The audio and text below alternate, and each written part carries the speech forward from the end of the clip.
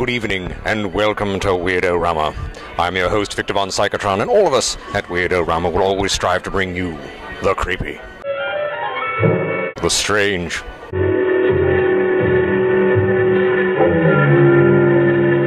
and of course the weird. So who says he looks at it? I can't imagine what else he does. Free guess. We are here at Days of the Dead Atlanta having an excellent time, and tonight's film is a classic from Roger Corman, The Wasp Woman. We'll also have interviews with attendees and other folks here at the show. So, lock all of your doors and windows, turn off all of your lights, sit back, have a cup of tea, and enjoy tonight's film, The Wasp Woman. But first, a cartoon and a short film.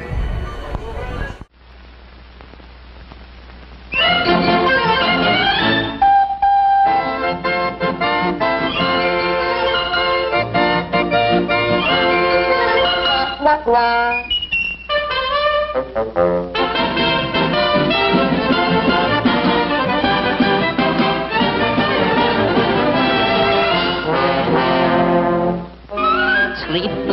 squatty, the the the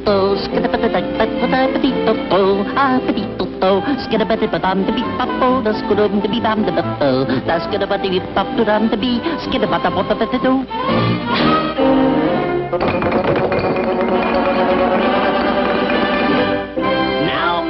house is finished.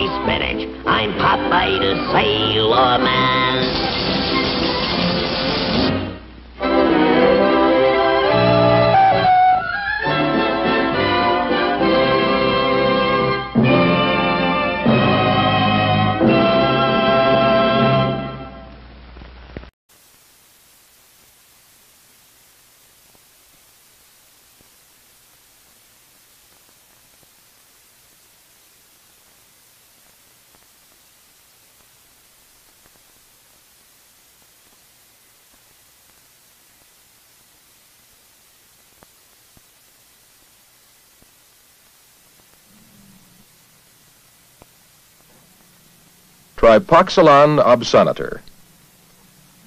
This is the scientific name for a species of solitary wasp that builds its nest in hollow stems. Some wasps build nests of mud. Others live together in colonies and are called social wasps, such as those that build the familiar paper nests. The life cycle of a solitary wasp provides us with a remarkable study of the complex process of growth and development called metamorphosis. Students noticed a wasp going in and out of this hollow wooden penholder. The wasp did this over and over again. When the penholder was opened, four compartments were found inside.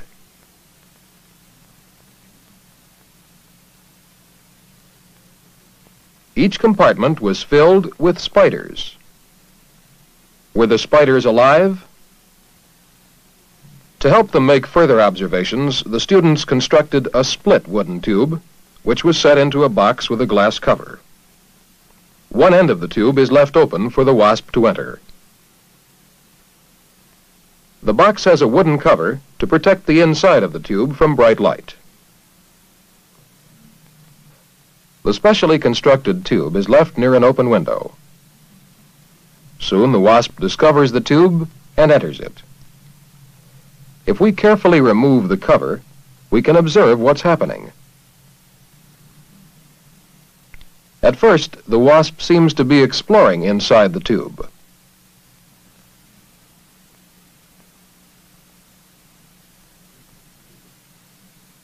Then it backs out of the tube and flies away.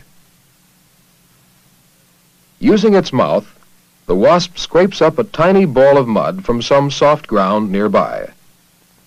Then it returns and enters the tube. The wasp makes another trip for more mud. At first it's difficult to see what the mud is for. But soon it is evident that the wasp is using the mud to build a wall. The next time the wasp returns to the tube, it is carrying something else. A spider. Other trips bring more spiders.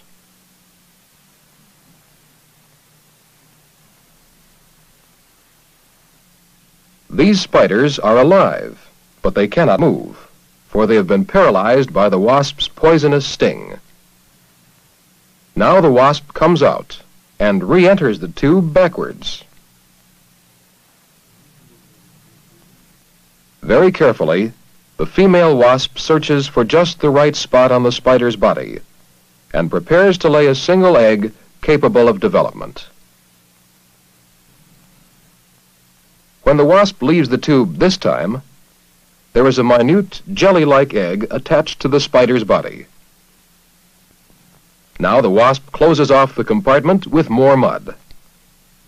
Other compartments are added in the same manner until the tube is filled with compartments. Each compartment has a single egg and several spiders in it, and each is separated from the others by a wall of mud. If we examine one of the eggs closely, we can see activity within the egg. The embryo inside the egg is developing. This is the beginning of a series of events which will eventually result in a new wasp. One special feature of the development of insects and many other animals is a change in body organization. We call this change metamorphosis. In the wasp, this change is dramatic and is called complete metamorphosis. In two days, the embryo hatches from the egg and a new stage in the development of the wasp begins, the larval stage. The wasp larva has a worm-like body and a round head.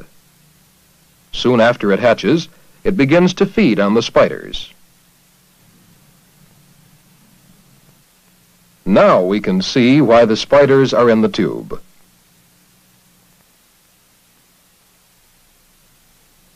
As it feeds, the larva grows rapidly. It increases in size and develops new structures that will be useful in later stages of development. The main function of the larva is to gather the raw materials that will make further growth and development possible. As larvae grow, they repeatedly shed their skins in a process called molting. Three days after hatching from the egg, the larvae become less active Soon they will begin a new activity within their compartments. All of the food has been consumed in each compartment.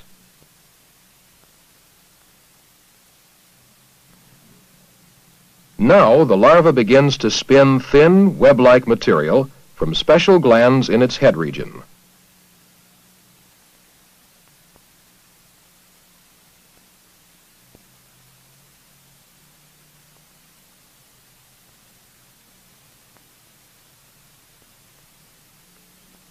Walls of the cocoon grow heavier and stronger as the larva seals itself into a protective covering.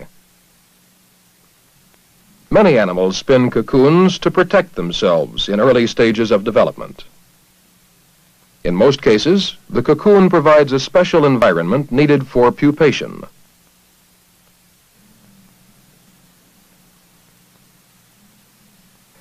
It takes two days for the wasp larva to finish the cocoon. Then the larva inside the cocoon becomes motionless. If we turn on a light behind the cocoon and turn off our top light, we can see the silhouette of the larva inside. The larva is beginning to transform itself into a pupa. This is the beginning of metamorphosis. To observe this development, we have removed a pupa from its cocoon. During the pupal stage, tissues that were developed in the larva are reorganized to give rise to the structure of the adult wasp. The old larva skin splits open, and the head and large jaws of the wasp emerge.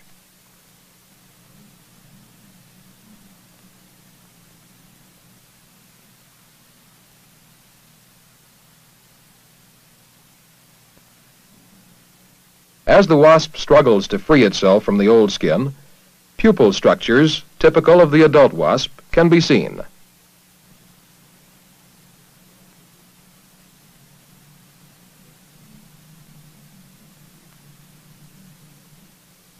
Here we can see the area between the abdomen and thorax becoming narrower.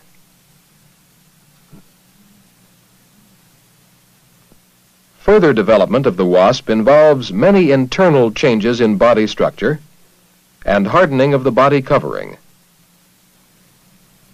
By using a light from below, we can see the new outline of the wasp. It must be remembered that all of these changes normally take place inside the cocoon.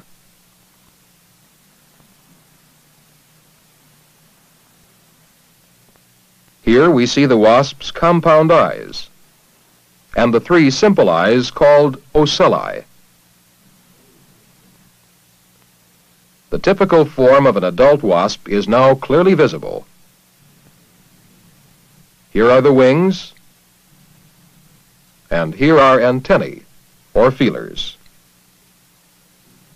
Notice that the body of the wasp has darkened. This process is called tanning and involves hardening of the cuticle, or skin, that forms the body covering. Since the larval stage, the developing wasp has taken in no food.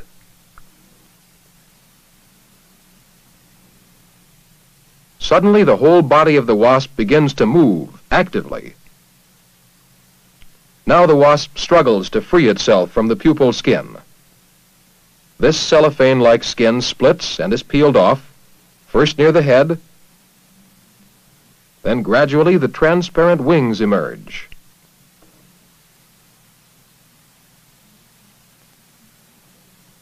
As the old skin is pushed off, the abdomen is freed.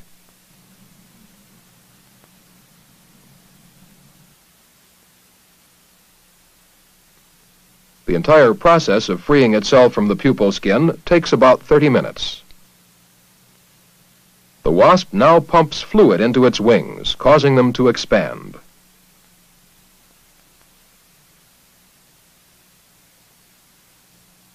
Excess fluid and accumulated wastes are excreted.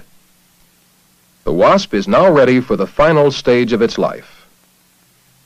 Remember that these processes of metamorphosis normally occur within the cocoon where they cannot be easily seen. Twenty days after the egg was laid, the adult wasp is ready to break out of the cocoon. It chews its way through the tough, paper-like covering.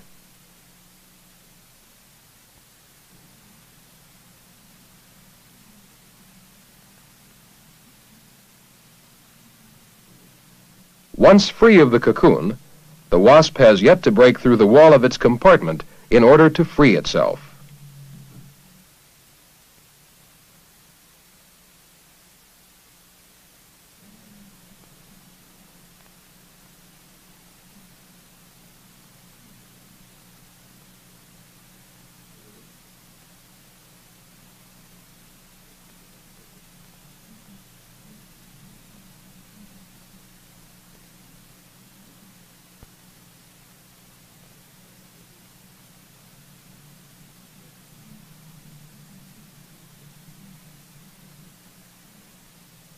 In the next compartment, the process is repeated.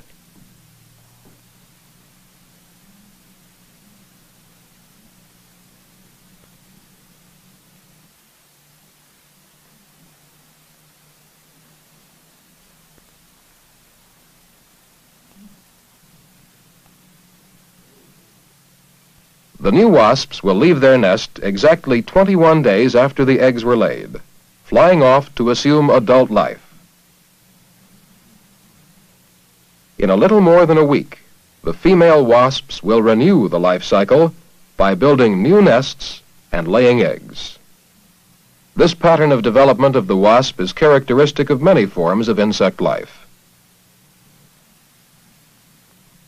Can you find patterns of metamorphosis in other phyla of animals?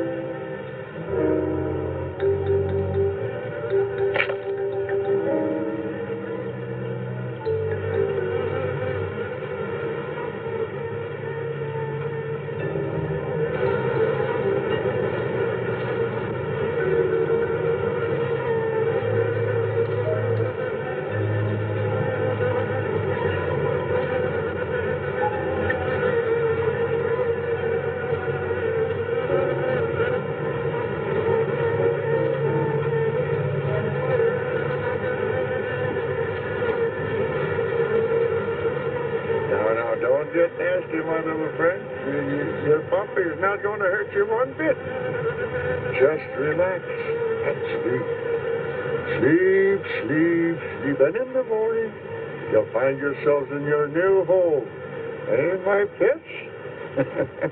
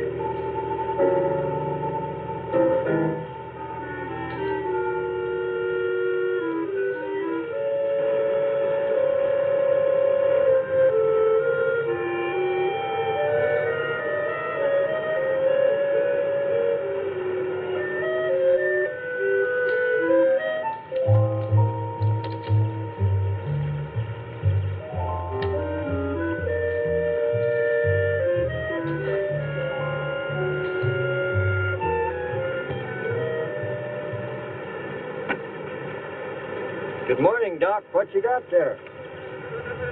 Aaron, I found some new friends. Listen. What? You better be careful. They can sting a man to death. Don't worry, we understand each other. They know who their friend is. They can tell. Yeah, but they know when you ain't, too. If you knew about wasps what I know, you'd have no fear of them, my boy. No fear.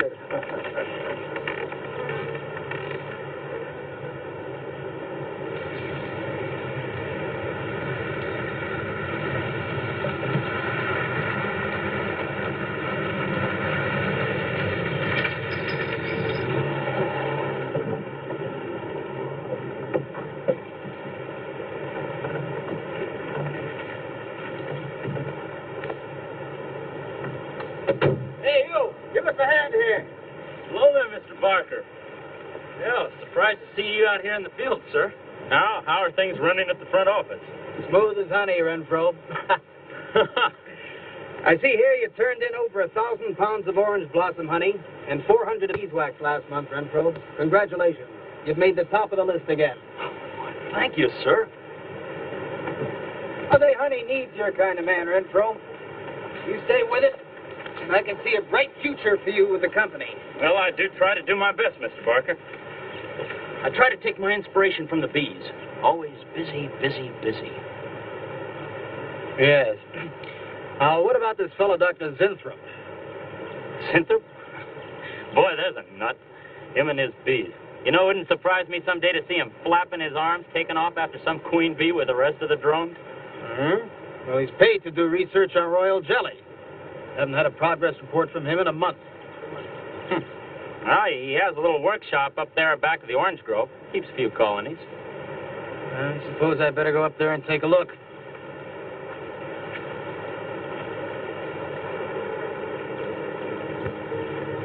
Hey, you! Where's this fellow Zinthrop?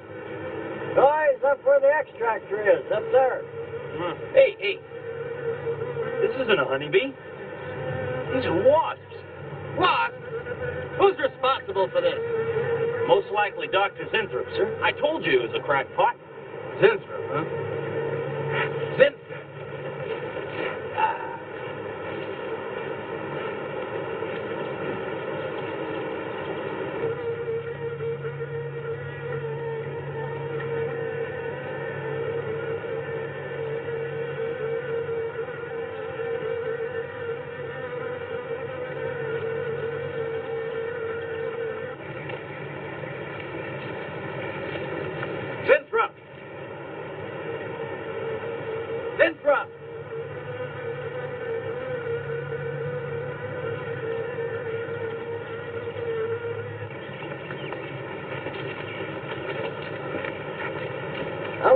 Look what's all this nonsense about wasps? I'm so glad you dropped in, Mr. Barker.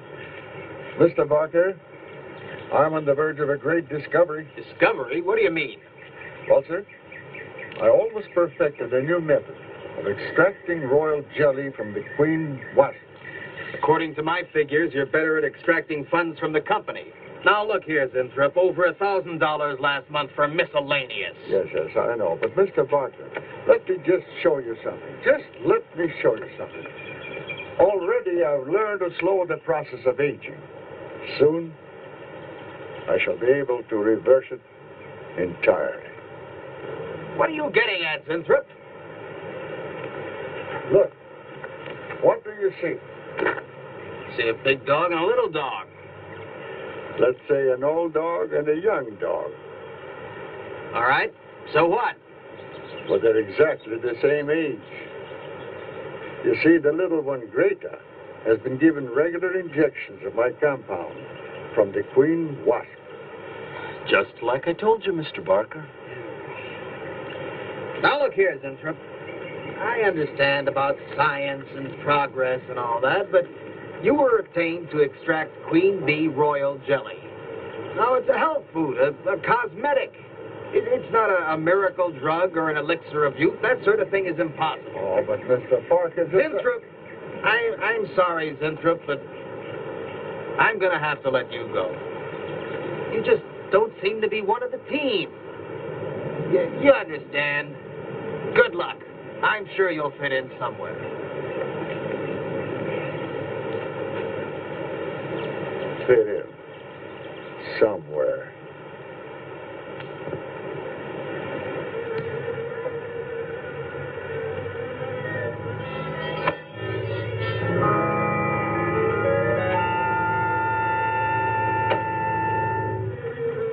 Oh, now, now, don't worry, my friend. We shall find a home somehow, somewhere. Oh, but you sound impatient. I know. Your babies, huh? They're hungry and uh, they must be fed. Uh, now, now, how would you like a nice, juicy little caterpillar, huh? Uh, you'd like that, wouldn't you? There. Now, you must eat them. Be strong because, well, a lot of work to do together. Yes, sir. A lot of work.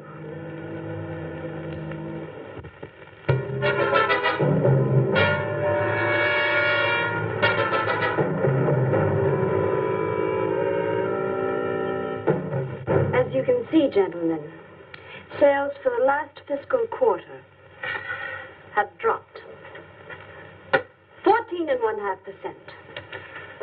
There has not been a corresponding drop in our competitor sales. I trust one of you gentlemen has a satisfactory explanation for this decline. Not one little suggestion, gentlemen. We'll start with you, Thompson. As public relations manager, no doubt you have some faint glimmering of what's happening to Starlin products. Well, Thompson? Well, you see, I, uh... I had no idea you were such an excellent public speaker, Thompson. Oh, I'm sorry, Miss Starlin. I guess I'm not feeling very well this morning. I'm sorry you aren't. I think I can tell you why Starlin products are falling off so badly, Miss Starlin. We're listening, Lane. Where would you put the responsibility for this decline? On you, Miss Starlin. I imagine you have arguments to support that contention. We've all been looking at it for the past 20 minutes. The most convincing argument is right on that graph. May I show you? Thank you.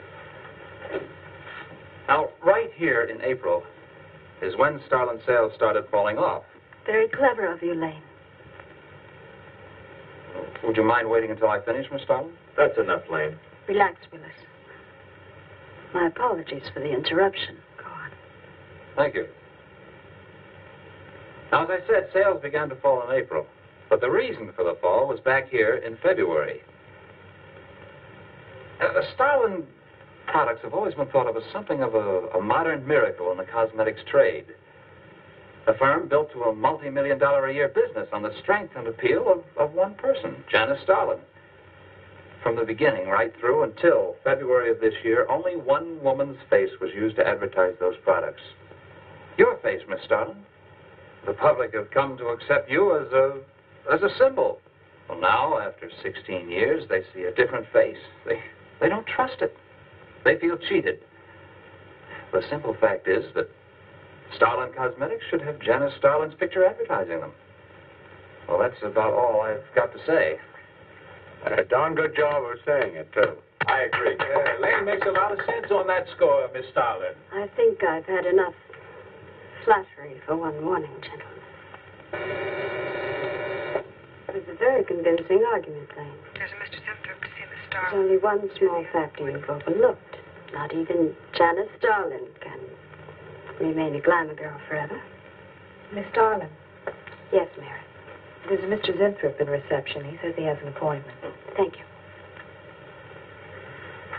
Well, this has been a very informative get-together. That'll be all for now.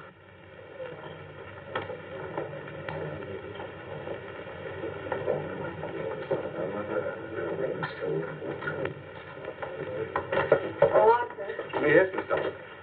I'd like to see you in my office, please. Sure, Miss Starlin. Take it easy, Hotshot.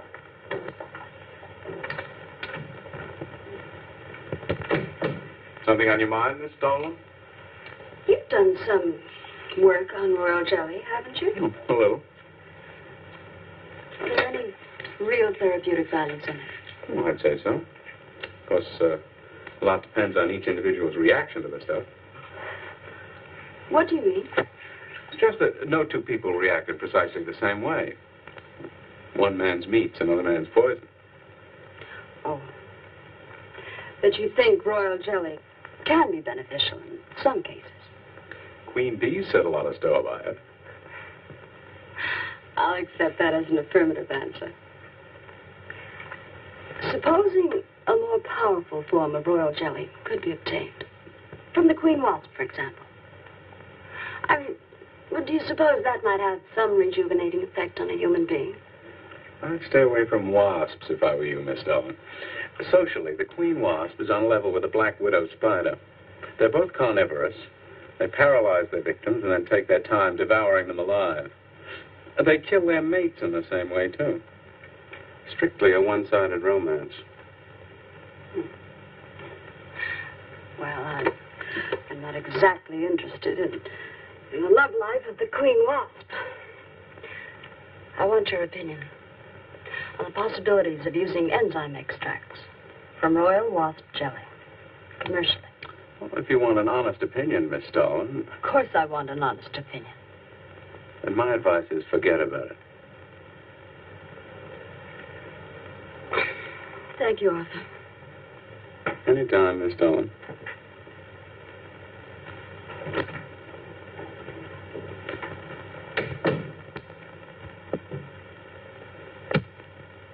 Mr. Zinthrop come in. Yes, Miss Starlin.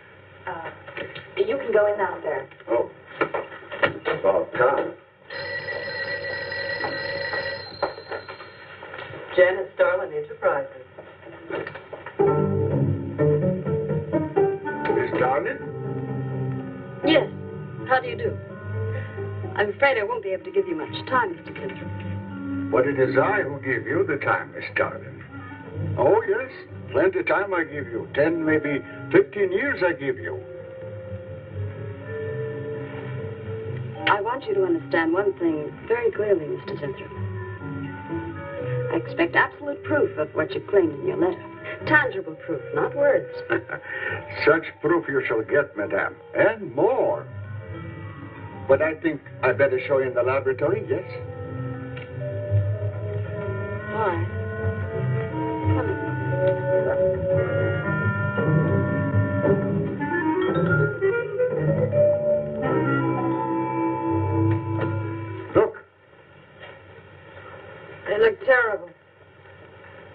Put them out of their misery?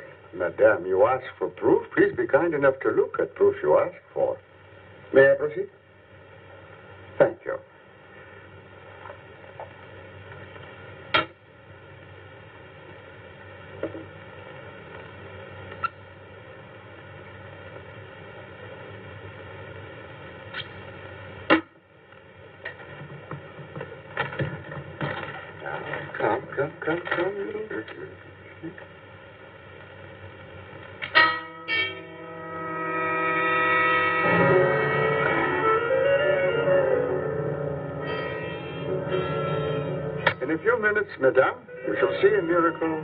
Shall not believe.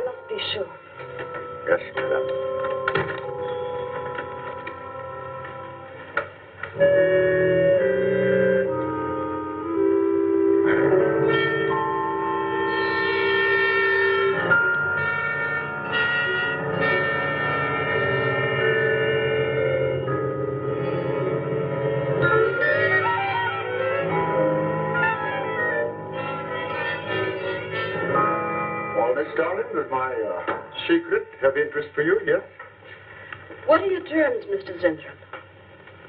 First, I must have a laboratory equipped with everything I need for my research. If we're successful, well, I ask for a little percentage. But I must get full credit for my discovery. That is most important to me. I'll have Gordon draw up the contracts. Oh, contracts, contracts. I do not need to give me your word. Good enough, Rick. You amaze me. Frankly, when I received your letter, I thought you were just a, another eccentric. But there was always a chance you might not be. Then you walk in here and show me nothing short of a miracle. Two miracles. And you say that you'll accept my word that I won't cheat you. You won't. I know you're a good woman, even if you do not like other people to know it. However, uh, my formula may not be good for human beings. I have not tested yet. You will on me. Oh, no, no, no, no. There might be danger. Those are my terms, Mr. Zinthrop. Janice Starlin will be your next guinea pig. Very well. Though it may take a little time to prepare sufficient extract, a week, maybe more. I'll make whatever arrangements you may need for your equipment. Thank you, madame. Now I see how you're built. All this. I'm very close to losing it, Mr. Zinthrop. Maybe working together we can save Janice Starlin Enterprises. Maybe even make it bigger than ever before. Yes. Oh, yes. I'm sure the next three months we will see a rise in Starlin sales that will surpass anything we've dared imagine. Mr. Zinthrop is working on the final stages of a development that will revolutionize the cosmetic industry. He's to have a free hand in his experiments and will be answerable to no one but myself.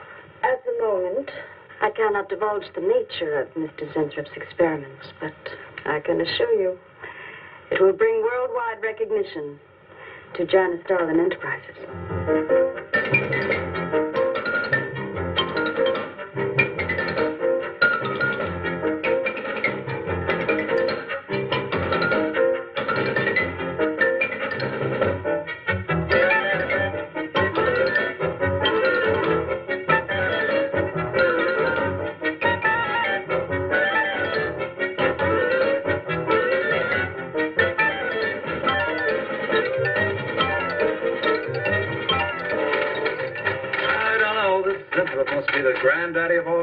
Men, taking a gal like Starlin. Why doesn't somebody wise her up? Like you, for instance? Bill, what makes you think Zinthrop really isn't on the level? After all, we don't even know what he's working on. It could be very legitimate. You're as bad as she is. Oh, women. Men. Every time you're stuck for an answer, you always come up with women. You're not getting out of this one so easily. I'd like to know why you think Zinthrop really hasn't got something. Well, you can call it male intuition if you like. It's just that there's something about this whole business that doesn't smell right. The private laboratory, the secret experiments, Zinthrop himself. The only thing that's missing is a genie with a lamp. You better leave the intuition to me. Come on. I'll let you buy me dinner. Buy your dinner. What's happened to your sporting blood? I thought we were going to toss for the check. Oh, no. You won the last three times. All right, look, I'll make a deal with you. Dinner is on me if you promise to keep an eye on what goes on in there. What do you want me to do? Read her mail and send her messages and keep your code? You could do worse. Oh, no, Mr. Cooper, not you, too. I've been trying to tell Bright Eyes here that I think Zinthrop is a phony and a confidence man. If I were sure of that, I wouldn't be worried. I think he's a lot more dangerous. A quack. Oh, I don't follow you, Coop. Well, a confidence man would just be interested in your money. The only damage they can do is to your pocketbook. A quack can be fatal.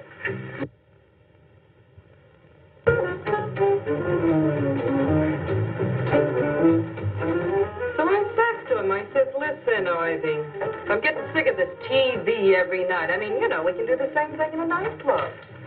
Well, almost. Mm-hmm. Good morning. Janice Starlin Enterprises. I got two words for you. Drop dead. Twice. Irving?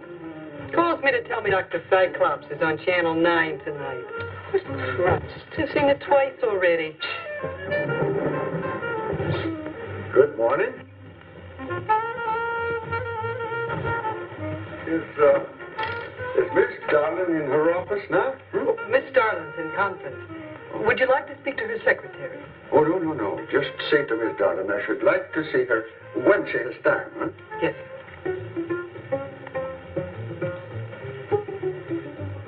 Was there something else, Mr. Zinthrop? Oh, no, no, no, no. Goodbye.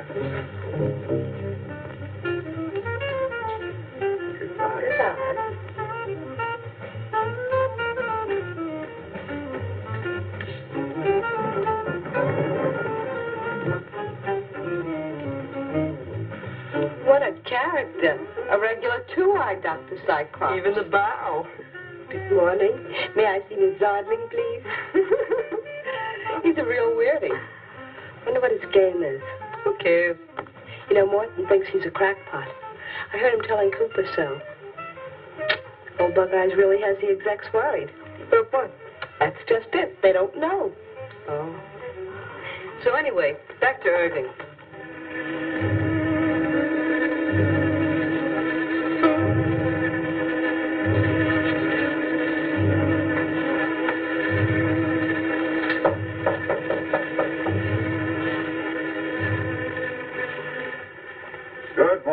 Morning, Darling. Good morning. Good morning. I couldn't get away any sooner. Is it important? Miss Starlin, do you remember the big cat I showed you last week? No? Mm. What about it? Well, I want you to look at him. Come.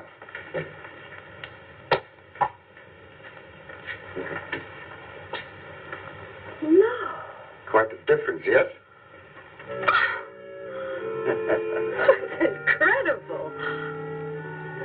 Say, Mark, it's a you're young again. Can you realize what that means? You're a kitten again. Your whole life to live over. How does it feel? I think perhaps you'll be able to find out for yourself, Miss Starlin. Today, today will be your first injection.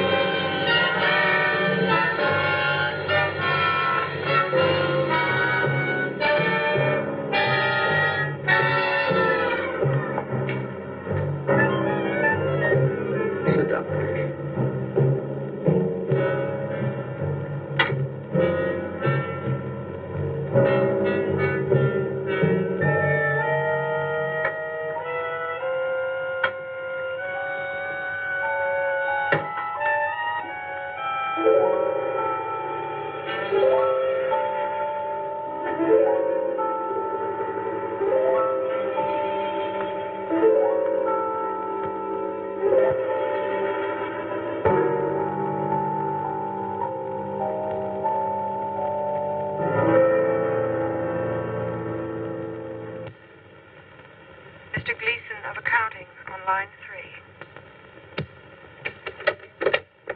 What is it, Gleason? I sent you a memo. Mr. Zinthrop has carte blanche to order anything he requires. It is no concern of yours, Gleason. Make out a check for the full amount.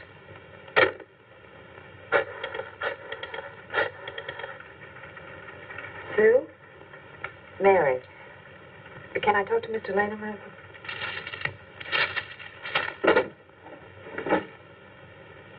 Bill? Hey, listen. Gleason just got a bill for $2,300. Zinthrop. Enzyme extract.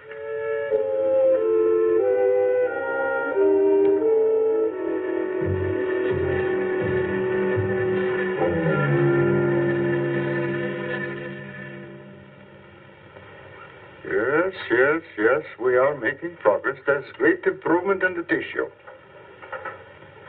Why is it taking so long? It's the third week. You forget, my dear, there's more to you than a little kitten, no? Besides, there's a difference in metabolism. Why not increase the dosage? Wouldn't that step up the process? Patience, my dear, patience. We must tread lightly, with care, your arm,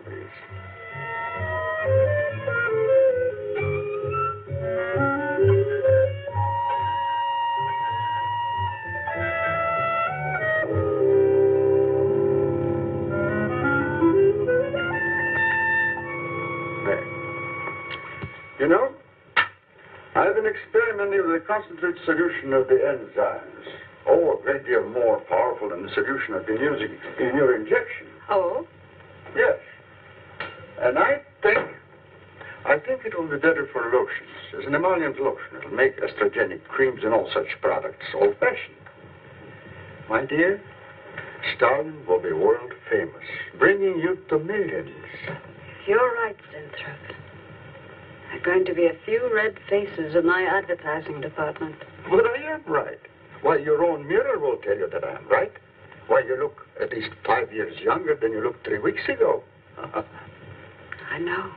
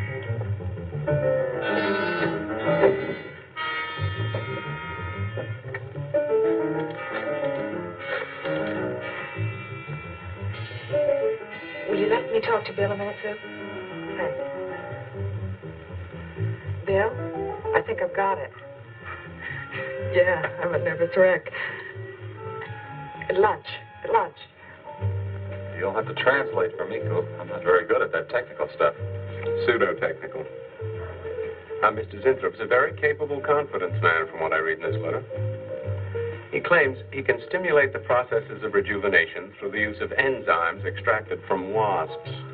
Oh, for... Well, what are you two Sherlocks going to do about it? Right now, I don't know.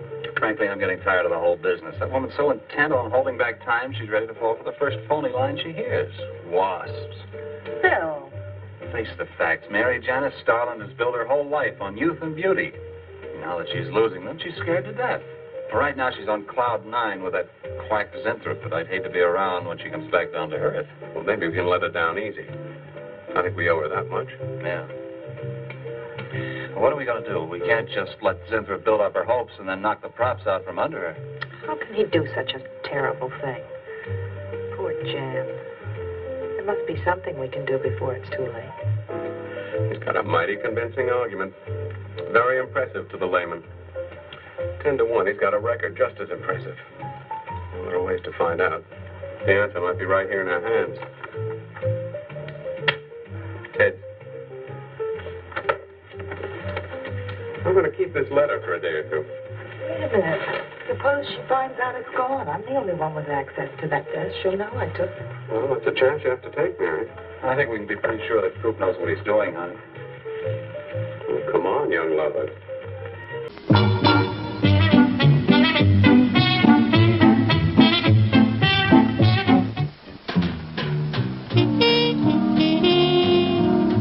Music to the ears of the hungry. The sizzle of a mouth-watering hamburger. Fresh, lean beef, done to a golden brown, couched in a soft bun, and garnished to taste. Man, that's hunger heaven. And you'll feel like you're heaven sent when you get one at our refreshment stand.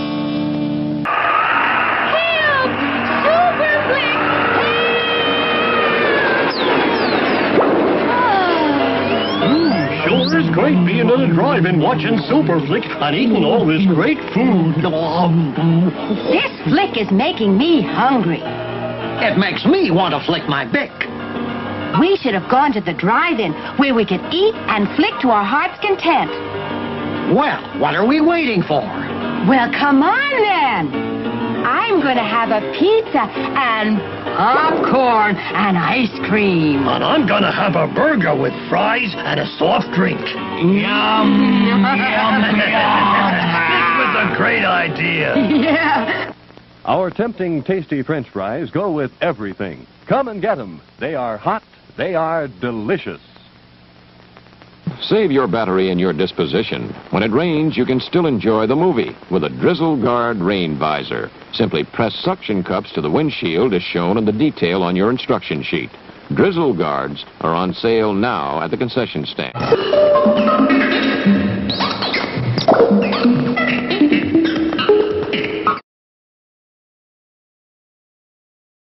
I am here with Winnie and Renee, and ladies, we are asking people if you could have the superpowers of any animal, which one would you choose? I would pick a dragon. And you, ma'am? I would be a unicorn. Oh, why those animals? Well, the dragons are fierce, uh, they're strong, and they get to fly, and they destroy everything with fire. And they have a lot of money. Yes, they do. And you, ma'am?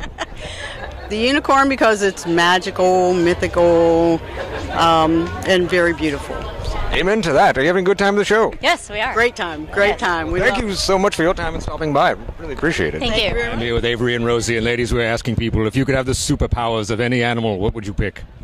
I pick a chameleon because then I could like shapeshift and blend into stuff. It's a good choice. Very handy. That, that's a good, very handy skill. And you, ma'am? Um, I pick a wolf because like they can smell really well, and I feel like if you're like not able to see well, you could like smell someone out or something. Oh yes, yes, very, very good. Very, very simple answers. Yes, I appreciate that. So, are you a fan of werewolves then? Yes, definitely. Werewolves also can change into things, Yeah. Werewolf. Werewolf too. and werewolf would be pretty. Yeah. And there's not much that can kill you really. Just, just silver, and that's it. Very true. I mean, they're also like I don't know. Wolves are adorable.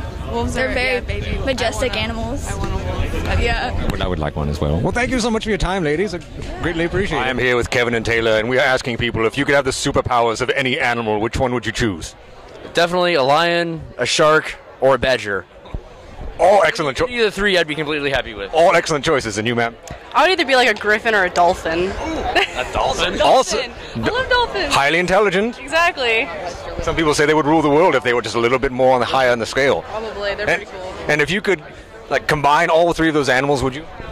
Definitely, because sharks are underwater animals and badgers are incredibly ferocious, and lions are just the king of the jungle. So you could tear through anything. Pretty much.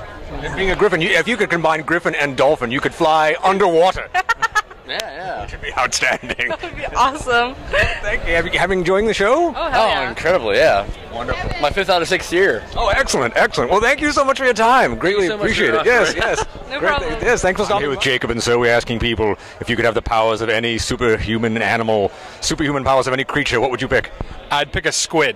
Why a squid? It's an interesting choice. The ink, you know, if I get in a socially awkward situation, I can just spread ink and run. That that's not a bad idea, actually. yes, and you have multiple arms, so you can do you can multitask like crazy. Exactly. You enjoying the show? I am. Wonderful. Well, thank Great. you so much Thank for your you. time here with Nick at Days of the Dead, and so we're asking people if you could have the powers of any animal, which one would you pick? Werebear. Ooh, so you could change into a bear. Yeah, anytime I wanted to, though. Oh, that'd be fantastic. Yeah. Yes. I just rip people apart. When you're like waiting in line for coffee and someone's taking too long. Or, Yeah. or someone's used up Slash them out of the way. Someone's used up two parking spaces. Absolutely. Just go crazy on them. Any would now? Would you prefer any particular type of bear? Grizzly, Kodiak, polar bear? Ooh, um, I kind of want to be like that killer panda bear.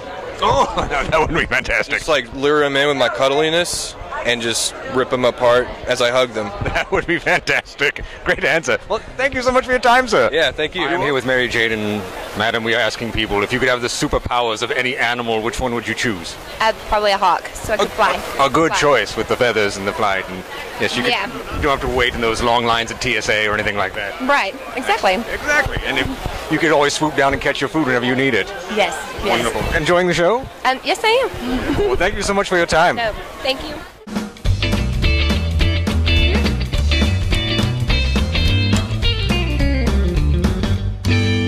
Hello, ladies and gentlemen. Just a few words about the cast and crew of tonight's film, The Wasp Woman. There are so many of your favorite players in this who have been in so many of your favorite movies that I had to make a list. Couldn't memorize all of them. Now, the film, of course, is directed by Roger Corman, and we've shown many of his films on our program, such as Bucket of Blood, Beast from Haunted Cave, Tormented, and Little Shop of Horrors. He, of course, is a legendary director and producer and has started more film careers than you can possibly imagine. He's worked with Jack Nicholson, all sorts of other film stars, Boris Karloff, you name it. He's pretty much worked with them.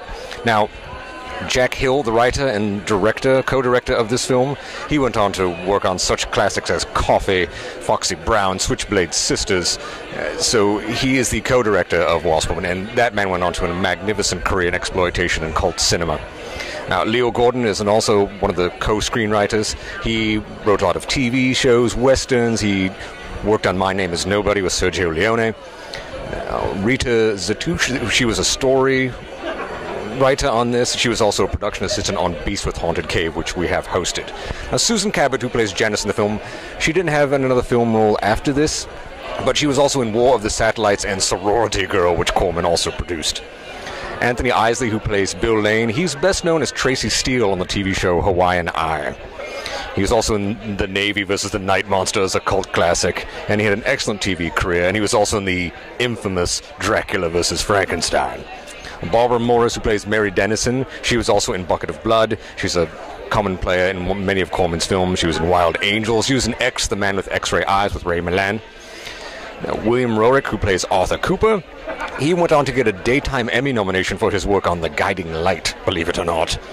Now, Michael Mark, who plays Eric Zinthrop, the professor who comes up with the serum in this, he was in many Universal classics Frankenstein, Son of Frankenstein, House of Frankenstein, Ghost of Frankenstein, The Black Cat. He was also Pop Palooka in the Joe Palooka movies, and he was in Return of the Fly. Frank Gerstle, who plays Les Hellman, he was in Shock Corridor and Monstrosity. I'm still working on this list. So many famous people were in this film. Now, Bruno VeSota, who plays the Night Watchman, you might remember him as the rich man in Daughter of Horror, which we hosted on our show. He was also an art collector in Bucket of Blood. Ray Gordon, who plays Paul Thompson, he was in Attack of the 50 Foot Woman and War of the Colossal Beast and The Unearthly. Frank Wolff, who was the first delivery man, he was also in Beast from Haunted Cave and went on to star in many spaghetti westerns, such as The Great Silence, Once Upon a Time in the West, even, and one of our favorite titles, God Forgives, I Don't. And finally, you can see Gene Coleman, which is Roger Corman's brother in this film. He plays Mr. Barker. Roger Corman also has a bit role in this film, so be sure to look for him. And Dan Haller is the art director of this film, and he was the art director on Bucket of Blood. He worked on all of Roger Corman's Edgar Allan Poe films with Vincent Price, such as The Raven, Fall of the House of Usher. And he also was the set designer in Panic in Year Zero, which we hosted the trailer for on Tea and a Trailer. So we hope you have enjoyed this exhaustive list. Please we hope continue to watch the program. We hope you're enjoying it. We're having an excellent time at Days of the Dead. It's a crazy show here, but as you can see, it's a wonderful time. And look at this gorgeous Halloween set, for heaven's sake. So we'll get back to the film after this word from our sponsor. Recognize these? They belong to your youngsters. Some of the things that keep them on the go from dawn to dusk. No wonder so many mothers serve their families Nabisco wheat honeys for breakfast. Every bite honey flavored, every serving energy packed. There's no other cereal like Nabisco wheat honeys. Golden puffs of 100% durum wheat enriched with the flavor, the goodness, the wonderful energy of honey. Even if you drench them with milk, they stay crisp, crunchy, delicious. You don't need any more sugar on this cereal. Nabisco wheat honeys satisfy that hankering for sweets without further sweetening. Wonderful, right from the package. They make a honey of a snack. And for a change, try Nabisco rice honeys. Honey flavored pops of unpolished rice with all its natural goodness and wholesome nourishment. For delicious taste and quick, quick energy, look for the cereals with a honey of a name. Nabisco wheat honeys, Nabisco rice honeys. Mm.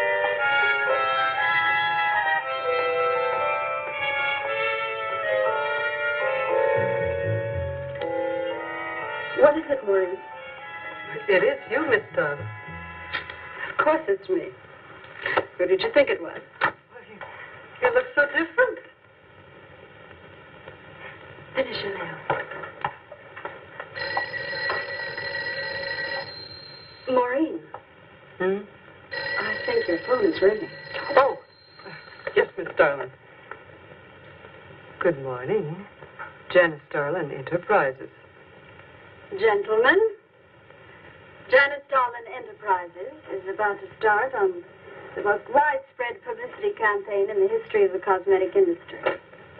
Our slogan will be Return to Youth with Janice Starlin.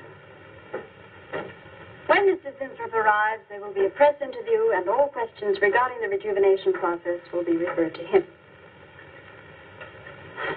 That'll be all for now, gentlemen. It's amazing. Oh, it's wonderful. You look marvelous.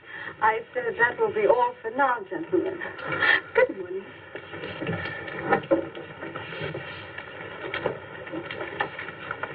Oh, not you, Mary. Wait a moment, please. Yes, Miss Starlin.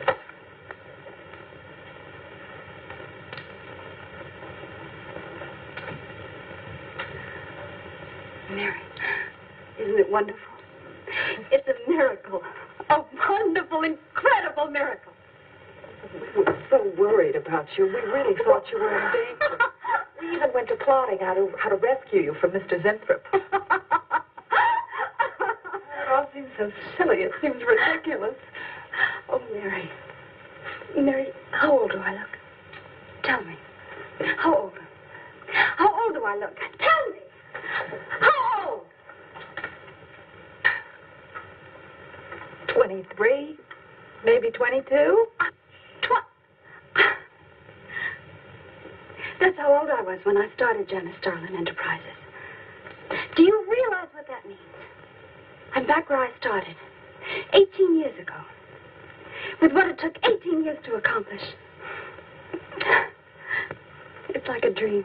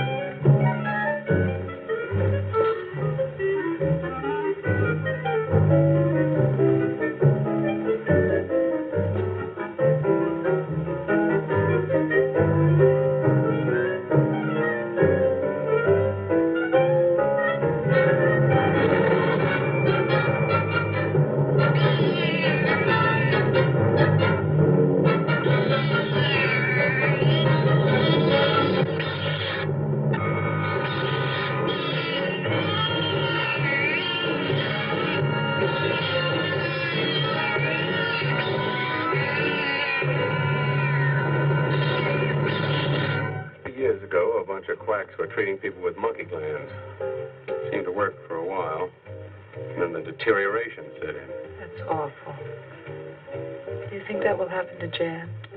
I uh-huh. don't know. If I could just get inside of his lab and run a breakdown on what he's using.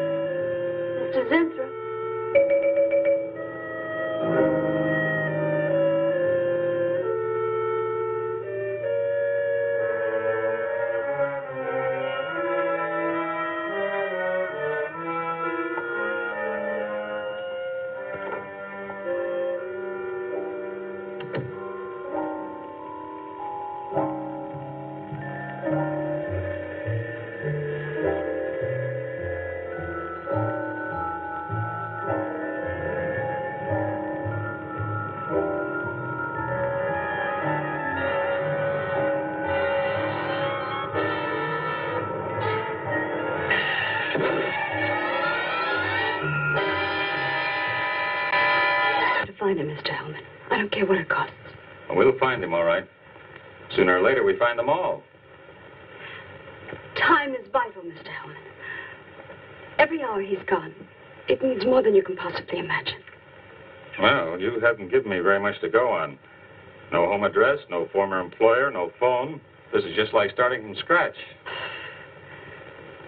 Mr. Zinthrop wasn't a, a conventional employee. He didn't go through regular personnel. You say he came here about a month ago. Well, how did he come here, Miss Starlin? He just didn't walk in off the street, did he? The letter. Right here in my drawer. Maybe uh, one of the other drawers. So that's what she meant. What who meant? Miss Starlin. The letter's been taken, and you think you know who took it. Is that right? My secretary, Miss Tennyson. You got her address handy? Her phone number. It might be better if I busted in on her cold. This way she'll have a chance to prepare a story. I know what I'm doing. All right. Mary? Janice Starlin. But before I went to lunch, I made a duplicate copy of Mr. Zinthrop's letter.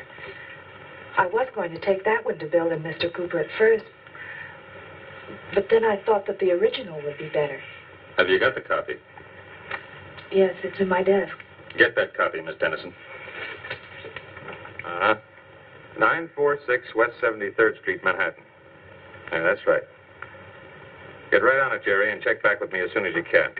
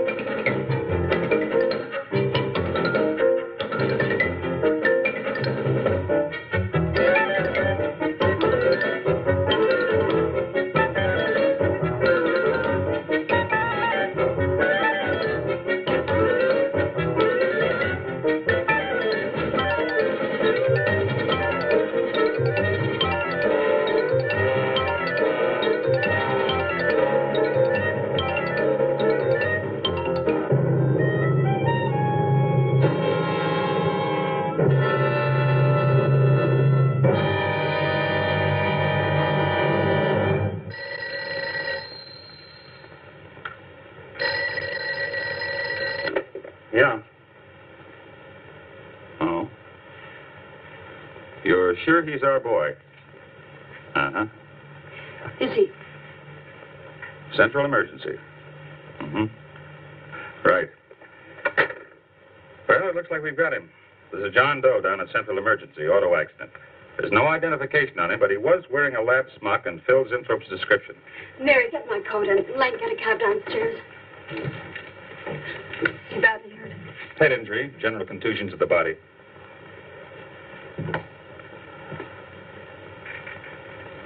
He's had a severe injury and there's definite brain damage. Just how much, we can't tell as yet. How long before you'll know? It's hard to say, Miss Starlin. Who's the best man for this kind of injury? Well, there are several top specialists. Get the best. I'll take full responsibility for the expenses. Yes, Miss Starlin.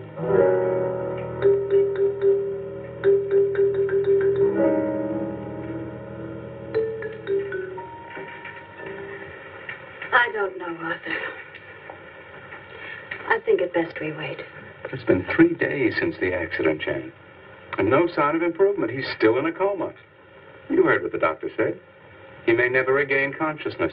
And even if he does, who knows how badly his brain has been damaged. Well, I'll give it another 48 hours. He doesn't regain consciousness by then. Now you can take over the laboratory, Arthur. Janet, It's my decision.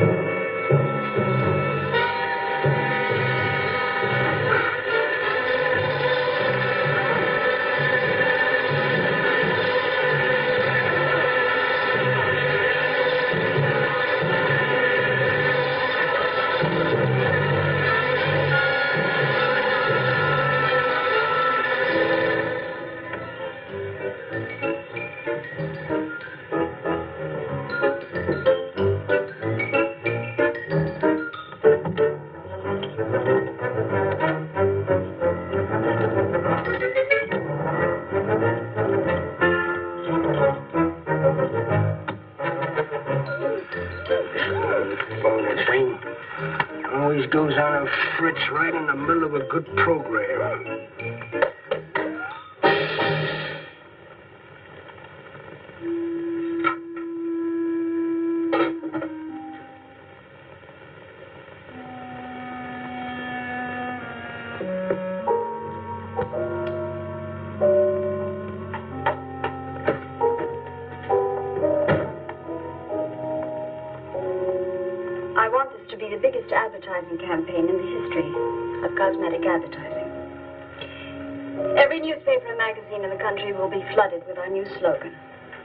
Return to Youth with Janice Starlin. Excuse me, uh, Miss Starlin. What is it, Thompson? Well, I think we should be a little conservative, Miss Starlin. Uh, cosmetics are one thing, medications another. We're liable to run into trouble. Yes. All advertising copy will be cleared through your office. Well, it's a touchy business, you know. Max is right, Miss Starlin. Don't have to second the motion, May.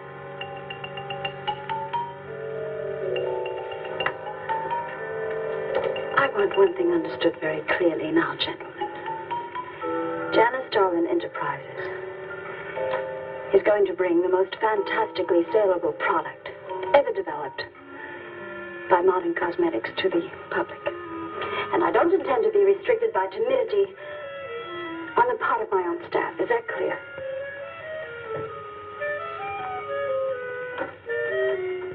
Are you all right, Miss Starlin?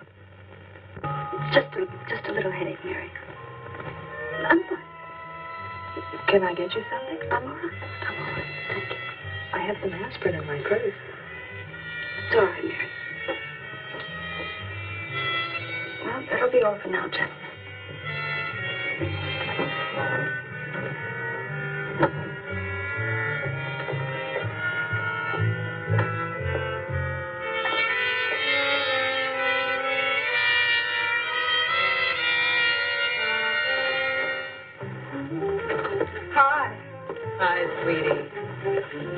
Gee, I sure hope they give the girls working at Starlin first crack at that new stuff. Imagine being 18 again. I guess if it can take 15 years off Starlin, it can take 10 off you. What do you mean 10? Face it, honey. This is Maureen you're talking to. Yeah? Well, if I were you, I'd take a double dose. Then maybe Irving wouldn't watch television so much. So who says he looks at it? I can't imagine what else he does. Free guess. Say, did Cooper come in yet? Mm-mm. Missed a board meeting this morning. I bet Starlin's having a fit. He should worry. Uh-oh. See you later. Bye, honey.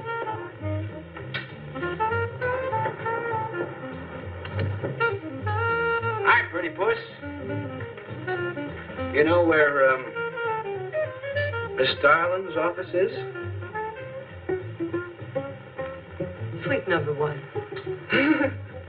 La dee da, the Duchess of Flatbush herself. How'd you like to have this phone wrapped around your ear, wise guy? It's more like it, sister.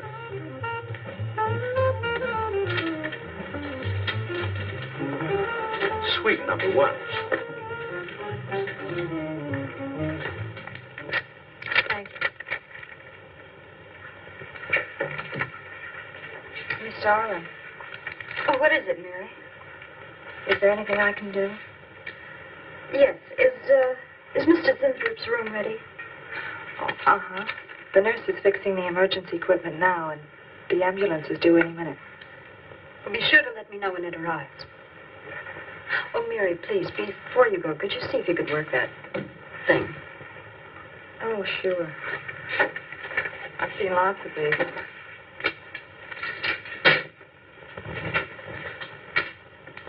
Oh, simple enough. That'll be all, Mary. Thank you. We've had a room especially made over for you, Mr. Zinthrop. And Miss Warren has a room adjoining yours, so there'll be someone near you at all times. Thank you. Thank you. When you're feeling better, Mr. Zinthrop, there are a few things I'd like to discuss with you. Good, good.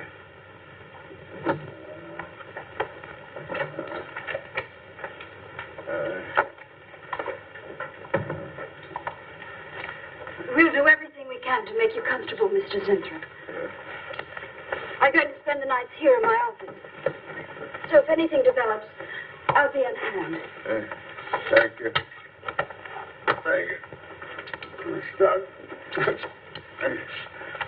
only, only there's so- something. I must tell you something important. But important, but uh, I cannot remember. Uh, I'm sure it can wait. Right now, the main thing is to get you back to health. Take good care of him, Miss Warren. Yes, Miss Starlin. Sure is funny about old Coop. You miss one day at work and you're ready to call missing person. Well, he's a pretty conscientious guy, honey. If he felt sick or something, he'd have called in. Relax. He'll probably be in bright and chipper in. Interrupting something? Oh, we were just having a little coffee clutch, Miss Starlin. We were talking about Mr. Cooper. What about Mr. Cooper? Well, about his missing the meeting this morning. Nobody's been able to reach him all day. Oh, I wouldn't worry about that. Mr. Cooper's been here a long time. Probably feels he's entitled to take a day for himself now and then. That's what I've been trying to tell Mr. Lane. Oh, by the way, Miss Starlin, how is Mr. Zinthrop? Oh, fine. In a few days, we'll uh, start the layouts for the campaign. Oh, I'm ready when you are, boss. Look those over. Hey, Bill. Huh? Don't go getting any ideas about the boss. For me? Don't be silly. I just wanted to know that I'm an eager member of the team. Still, she is looking a lot younger these days, isn't she? You think Zinthrop would give you any of those treatments? You know, break the watch or something?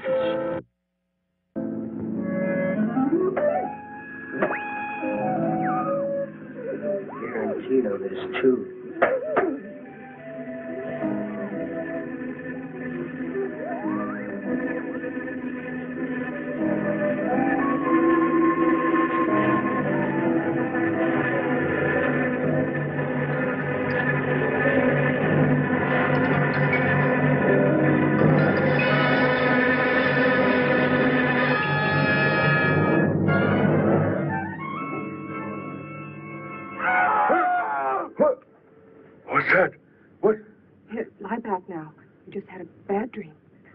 Lie down now.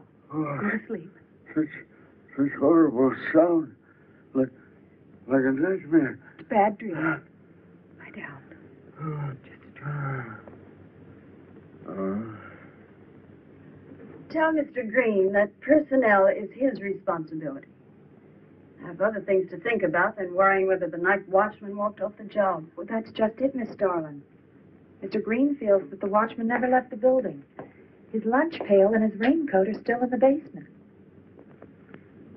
I don't want to hear anything more about it, Mary. All right, Miss Starlin. We'll use these.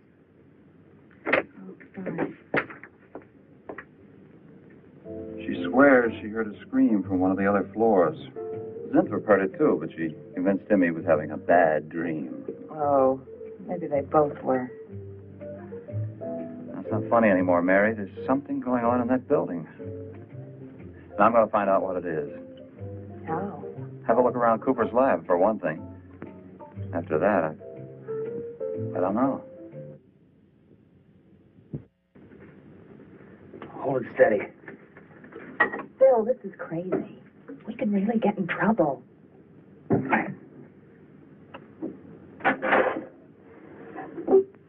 I won't tire him, Miss Warren, but it is important.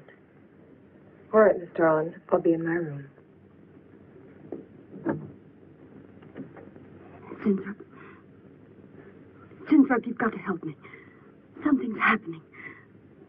Something's happening to me. I can't control it. there is something I must remember, but I, I can't. Try to think. The wasp enzymes. The, the extracts you, you were experimenting with before the accident. Try to think.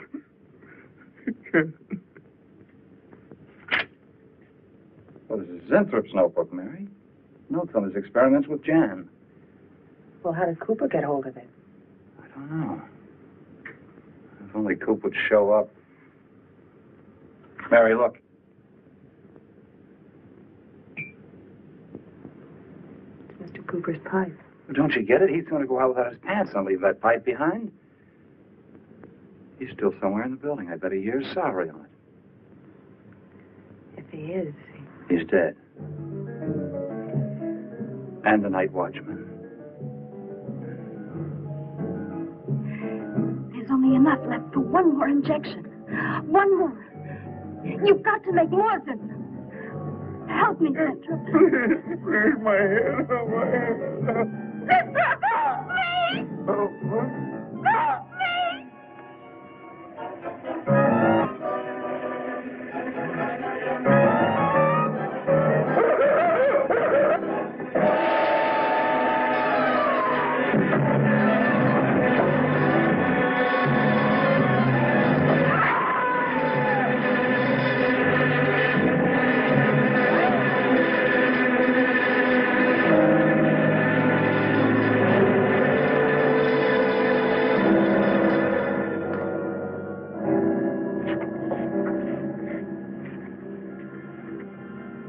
Asleep?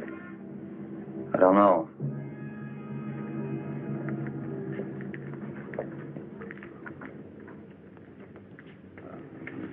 Bill, don't touch him. If anybody knows what's behind all this, it's him. Mr. Zinthrop. Bill.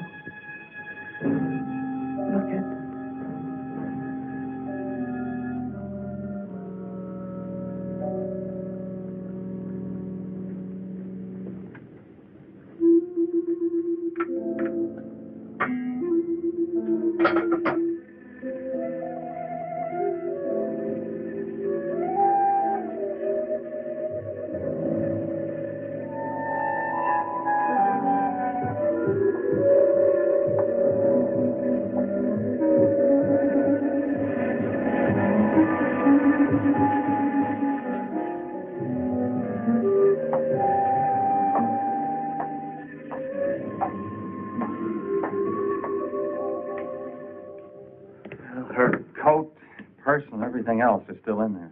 She wouldn't go out without her purse. Bill, let's get out of here. I don't like it. The cat. The cat must warn her. Mr. Zinthrop. Who are you? Well, there's nothing to be alarmed about, Mr. Zinthrop. I'm Bill Lane, and this is Miss Dennison, Miss Starlin's secretary. you? Miss Starlin. The cat. What about a cat? Must warn her. Injections. Must not take any more injections. Is Miss Starlin in danger? Terrible danger. I'm, I was. Take it easy, Mr. Zinthrop. You're still pretty weak. Mary, see if you can get Jan on the phone. All right. All right.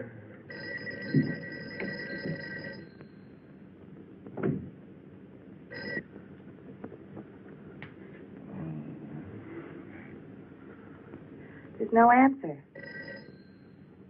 Oh, Miss Starlin? Is that you, Mary? We're in the building. We're in Mr. Zinthrop's room. Something's happened down Here, here. let me talk to her. Hello, Miss Starlin. This is Lane. Why are you and Mary still in the building? I must help. I'm Don't let it get up. Mary. Uh, you- I must help. I must not I hold can't him explain back. now, Miss I must.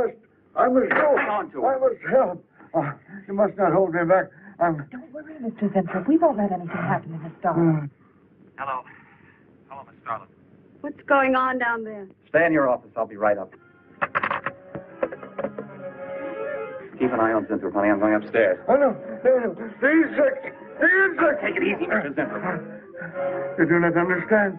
Miss Starlin, she's in danger. I, I must warn her. I'll have to I stay must- here. You go for Jan. Uh, When you get up there, call the police. You can't get outside on this phone. All right, all right, I'll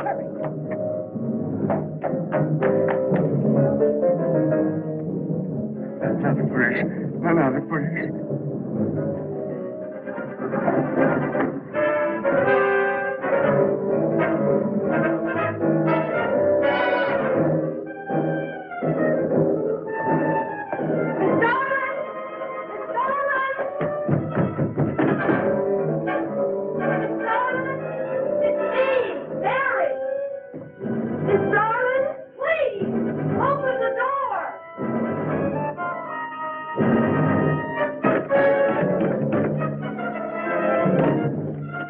Please, will you please call the police? What for? Look, I don't have time to. Mary! I'm sorry I had to do that. There's no time for hysteria. Now, what is this? The enzymes. The enzymes. They've, they've gone crazy. Sure, Mr. Honey. You just relax and take it easy. Everything will be all right. We'll take care of those You do not understand. You do not understand that girl. You shouldn't have sent her upstairs. She's in danger. You must stop her before it is too late. Okay, as soon as the cops get here, we'll take oh, her. Oh, you fool, you fool. Miss Starlin will kill her and tear her body to shreds. Miss Starlin, kill Mary? Miss Starlin is not a human being any longer. The enzymes have changed her. She will destroy the girl as a female wasp would destroy her enemies, and then devour the remains. Then Bill found Mr. Zinthrop's notebook in Cooper's desk. Oh, no, no, there's no mistake. We've got to call the police now. Now, Mary, you're just getting a little excited. Now, who could possibly want to hurt Mr. Coop? I don't know. But it's not only Mr. Cooper. What about. I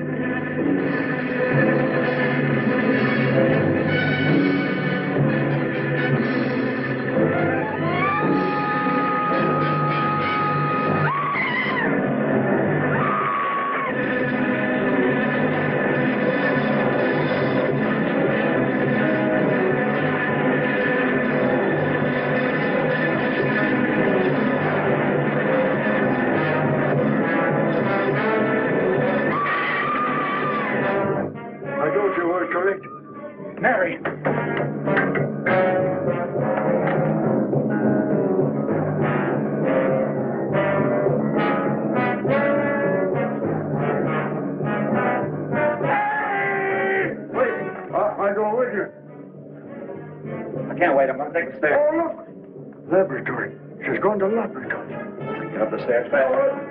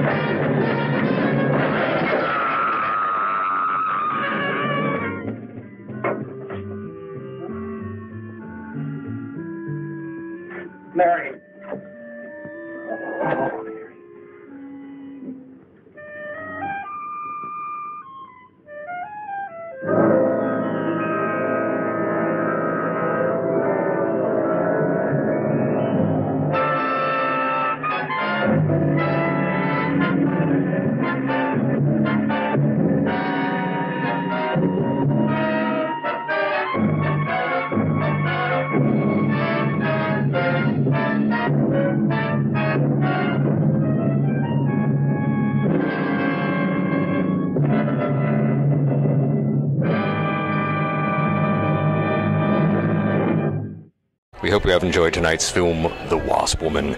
Please feel free to email us your comments about it. Also, be sure to check out our blog, Facebook fan page, Twitter feed, and of course, WeirdoRama.com. So, for all of us at Weird-O-Rama, this is Victor Von Psychotron telling all of you to stay weird. And make sure to eat.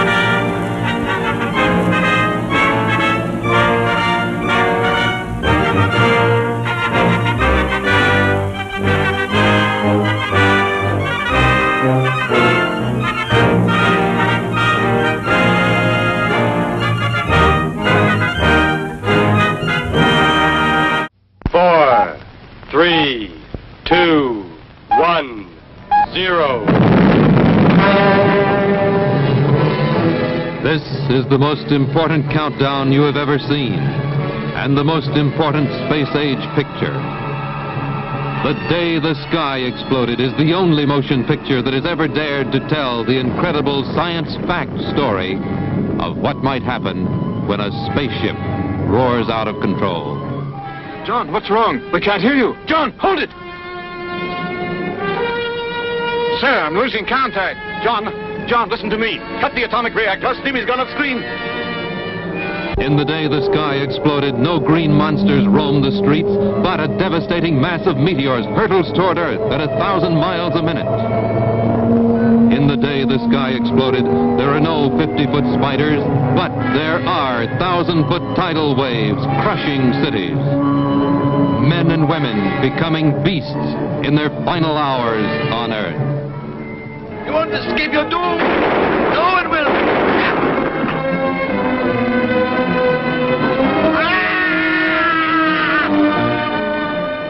How the race for space might lead to the total annihilation of the human race. The day the sky exploded. A motion picture today. Tomorrow it might be a headline in your newspaper. Believe it or not, this is a private detective. The name? Honey West. Honey West, be smart. Stay alive. Forget about Selby. This is her partner, Sam Bolt. Sam worries a lot. Deadly. A real blade man. He's trying hard to make the top ten. Five jobs in two weeks, and all celebrities. Hmm, really, it sounds like he's right out of James Bond. Don't let her looks fool you. As a detective, honey, aims to please. And who can argue with a perfect 38? Caliber, that is. Remember Friday, September 17th. Don't miss the premiere of Honey West, the private eye that criminals flip over on ABC.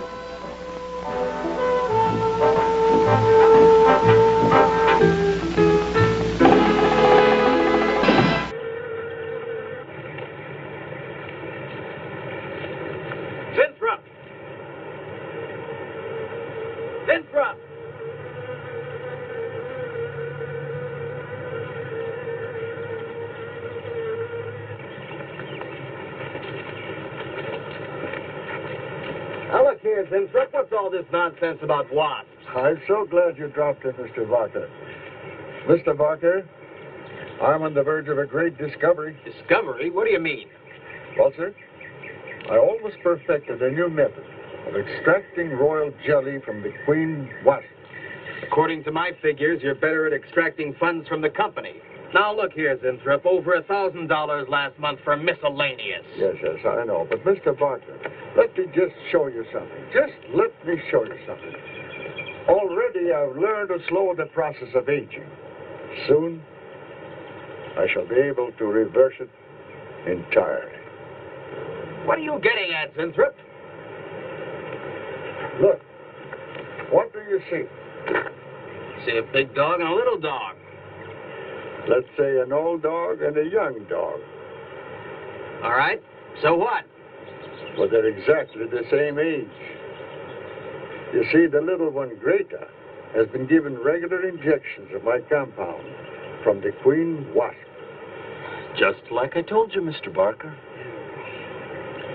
Now look here, Zinthrop. I understand about science and progress and all that, but you were obtained to extract queen bee royal jelly. Now, it's a health food, a, a cosmetic. It, it's not a, a miracle drug or an elixir of youth. That sort of thing is impossible. Oh, but Mr. Barker. Zinthrop, I, I'm sorry, Zinthrop, but I'm going to have to let you go. You just don't seem to be one of the team. You, you understand. Good luck. I'm sure you'll fit in somewhere. Fit in. Somewhere.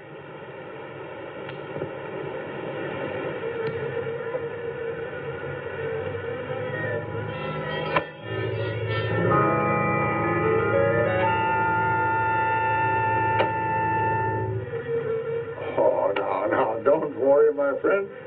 We shall find a home somehow, somewhere. Oh, but you sound impatient. I know. Your babies, huh? They're hungry and uh, they must be fed. Uh, now, now, how would you like a nice, juicy little caterpillar, huh? Uh, you'd like that, wouldn't you? There. Now, you must eat them. Be strong because, well...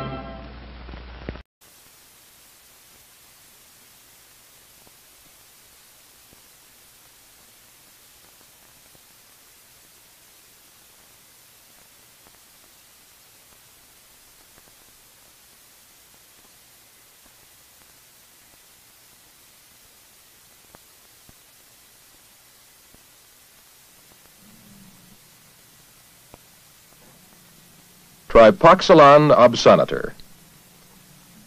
This is the scientific name for a species of solitary wasp that builds its nest in hollow stems. Some wasps build nests of mud. Others live together in colonies and are called social wasps, such as those that build the familiar paper nests. The life cycle of a solitary wasp provides us with a remarkable study of the complex process of growth and development called metamorphosis. Students noticed a wasp going in and out of this hollow wooden penholder. The wasp did this over and over again. When the penholder was opened, four compartments were found inside.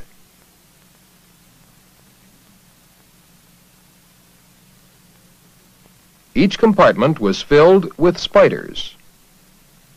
Were the spiders alive? To help them make further observations, the students constructed a split wooden tube, which was set into a box with a glass cover. One end of the tube is left open for the wasp to enter. The box has a wooden cover to protect the inside of the tube from bright light. The specially constructed tube is left near an open window. Soon the wasp discovers the tube and enters it. If we carefully remove the cover, we can observe what's happening. At first, the wasp seems to be exploring inside the tube.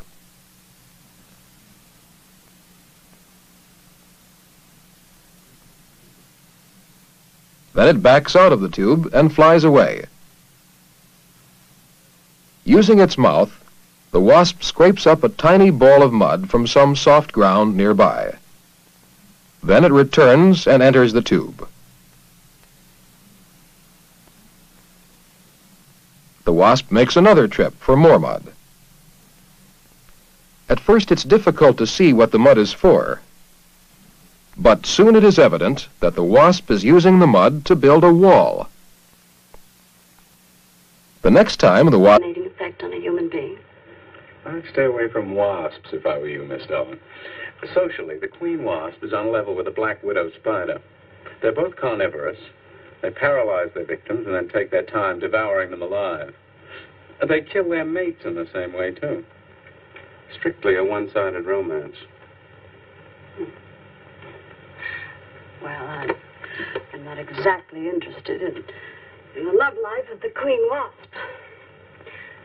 I want your opinion the possibilities of using enzyme extracts from royal wasp jelly commercially. Well, if you want an honest opinion, Miss Stone. Of course, I want an honest opinion. then my advice is forget about it. Thank you, Arthur. Anytime, Miss Dolan.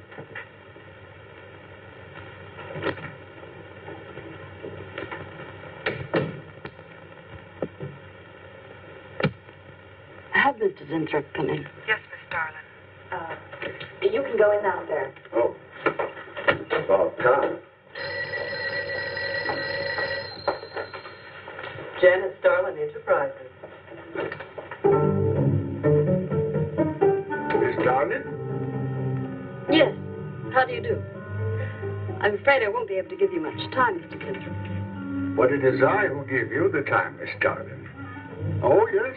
Plenty of time I give you. Ten, maybe fifteen years I give you. I want you to understand one thing very clearly, Mr. Zinthrop. I expect absolute proof of what you claim in your letter. Tangible proof, not words. Such proof you shall get, madame, and more. But I think I better show you in the laboratory, yes? Why?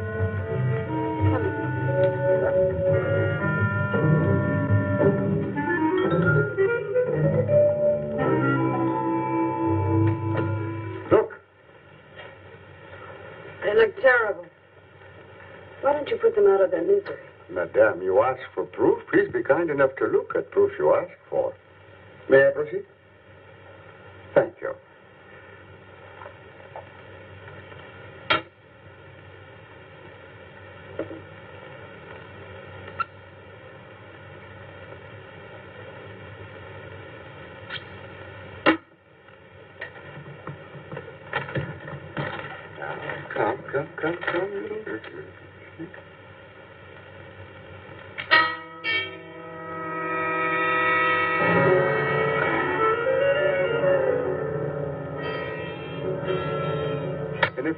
A madame, we shall see a miracle.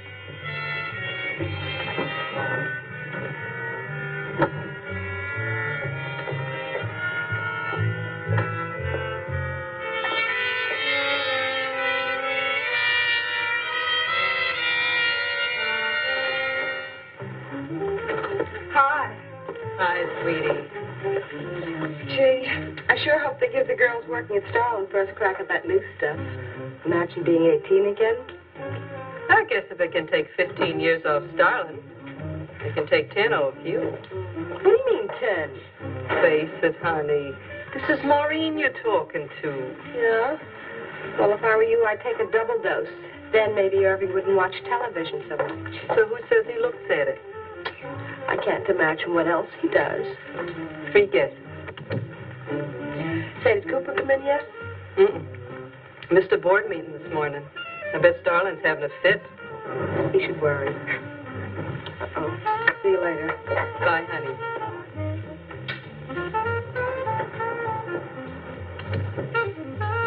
Hi, pretty puss.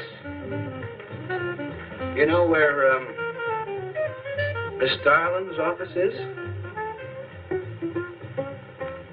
Suite number one. La dee da, the Duchess of Flatbush herself. How'd you like to have this phone wrapped around your ear, wise guy? It's more like it, sister.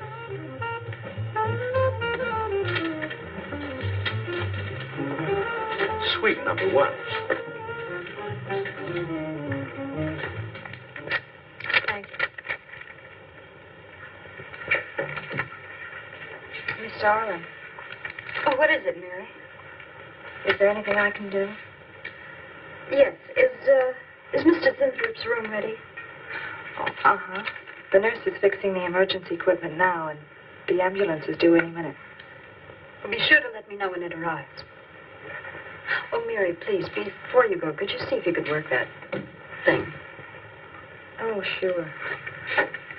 I've seen lots of these.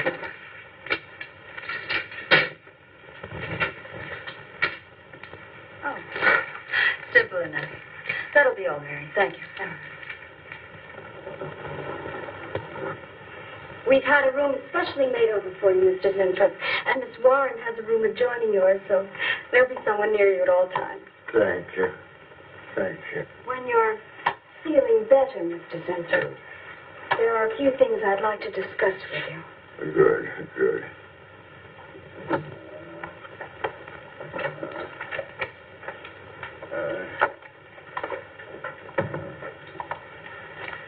We'll do everything we can to make.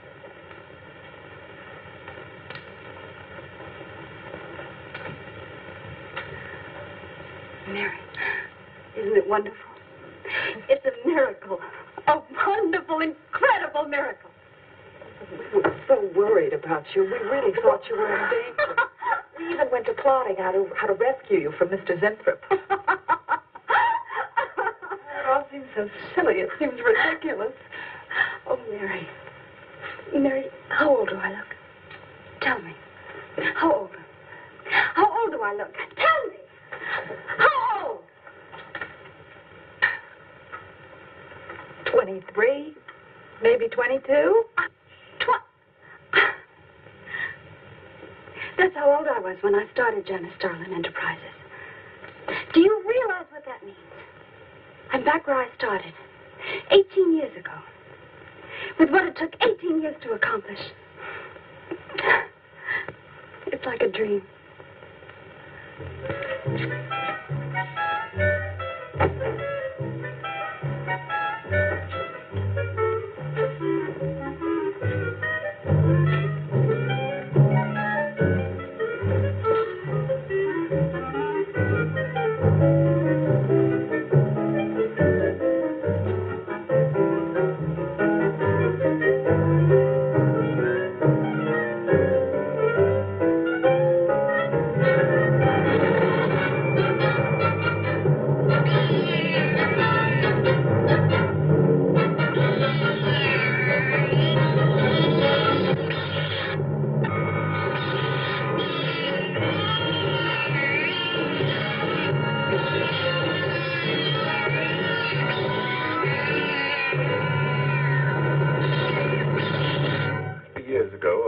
Quacks were treating people with monkey glands.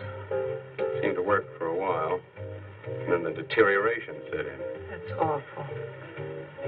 Do you think that will happen to Jan? I don't know. If I could just get inside of his lab and run a breakdown on what he's using.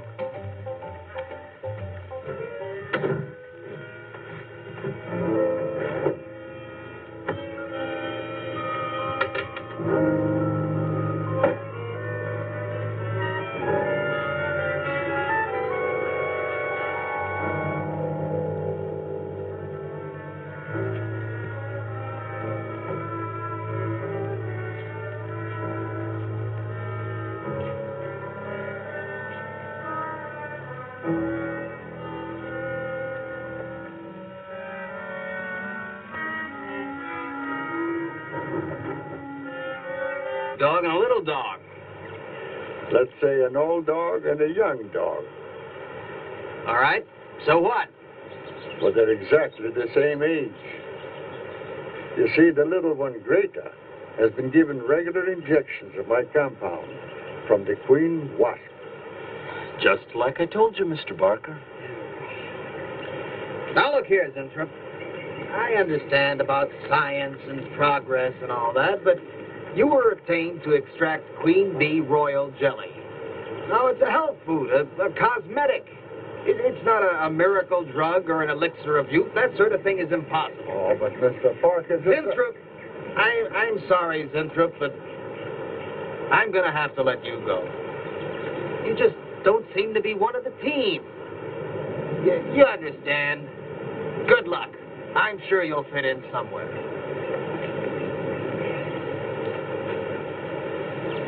Fit in. Somewhere.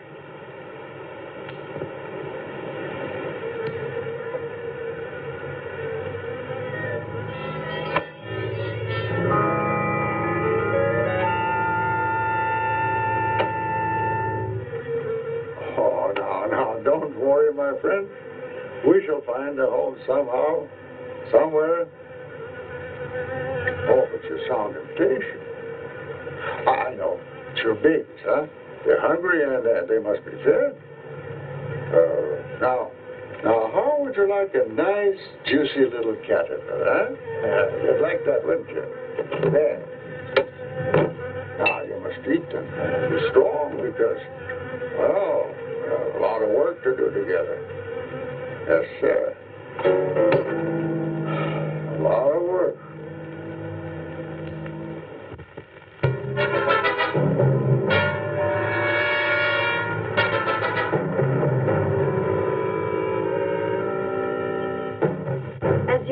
gentlemen, sales for the last fiscal quarter have dropped 14 and one half percent. There has not been a corresponding drop in our competitive sales. I trust one of you gentlemen has a satisfactory explanation for this decline. Not one little suggestion, gentlemen. We'll start with you, Thompson. As public relations manager, no doubt you have some faint glimmering of what's happening to Starlin products. Well, Thompson, Well, you see, I, uh... I had no idea you were such an excellent public speaker, Thompson. Oh, I'm sorry, Miss Starlin. I guess I'm not feeling very well this morning. I'm sorry you aren't. I think I can tell you.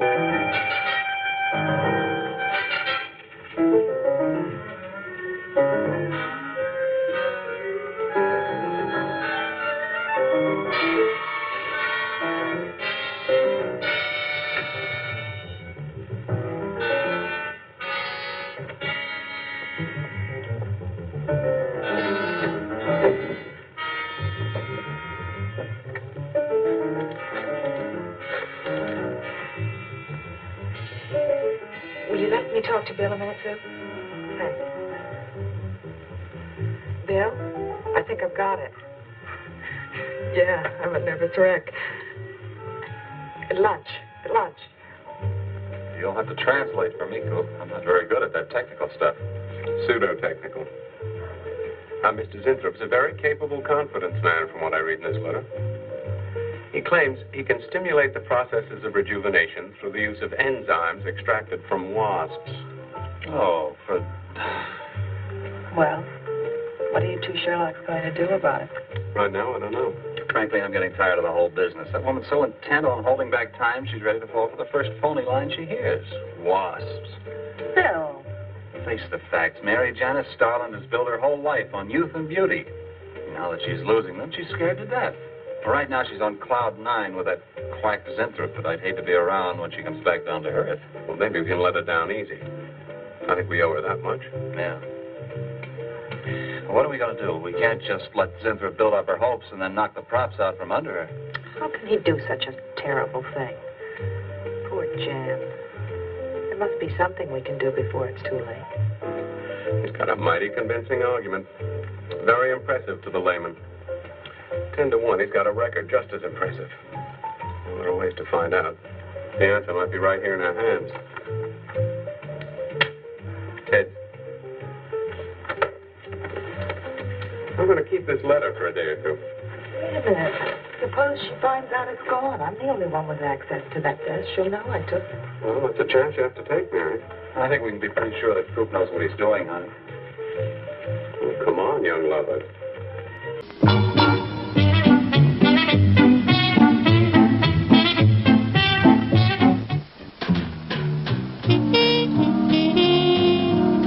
Music to the ears of the hungry. The sizzle of a mouth-watering hamburger. Fresh, lean beef, done to a golden brown, couched in a soft bun, and garnished to taste. Man, that's hunger heaven. And you'll feel like you're heaven sent when you get one at our refreshment stand.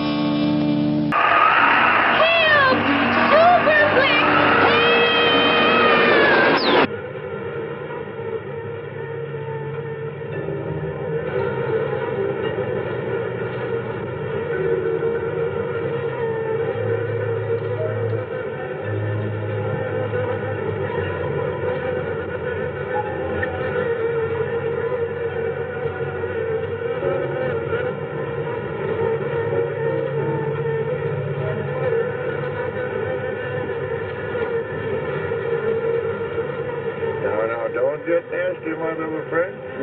Your puppy is not going to hurt you one bit. Just relax and sleep. Sleep, sleep, sleep. And in the morning, you'll find yourselves in your new home. Eh, my pets?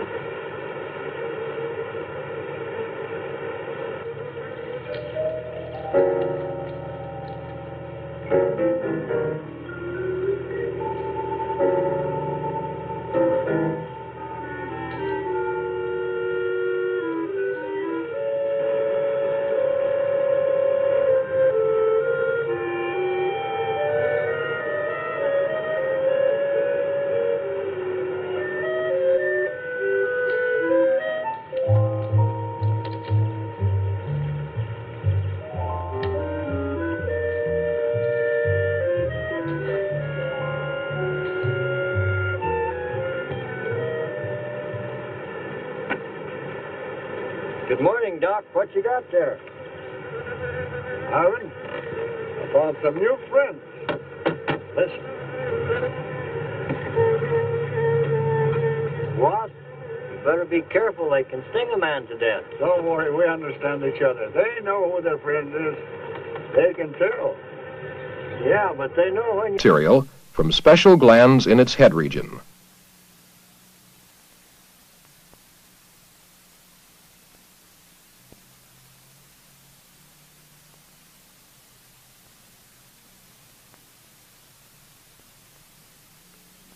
The walls of the cocoon grow heavier and stronger as the larva seals itself into a protective covering. Many animals spin cocoons to protect themselves in early stages of development. In most cases, the cocoon provides a special environment needed for pupation.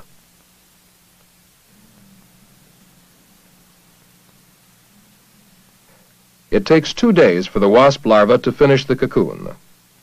Then the larva inside the cocoon becomes motionless. If we turn on a light behind the cocoon and turn off our top light, we can see the silhouette of the larva inside. The larva is beginning to transform itself into a pupa. This is the beginning of metamorphosis. To observe this development, we have removed a pupa from its cocoon. During the pupal stage, tissues that were developed in the larva are reorganized to give rise to the structure of the adult wasp. The old larva skin splits open, and the head and large jaws of the wasp emerge.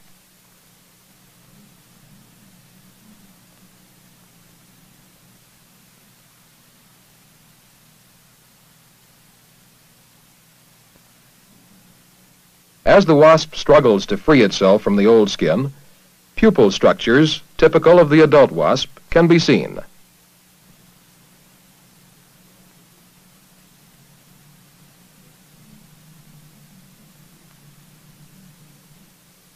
Here we can see the area between the abdomen and thorax becoming narrower.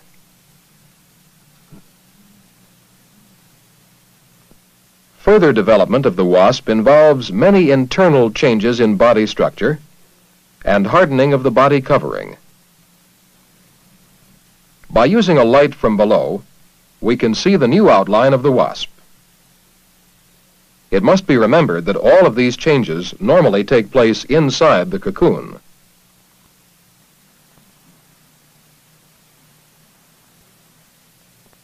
Here we see the wasp's compound eyes and the three simple eyes called ocelli. The typical form of an adult wasp is now clearly visible. Here are the wings.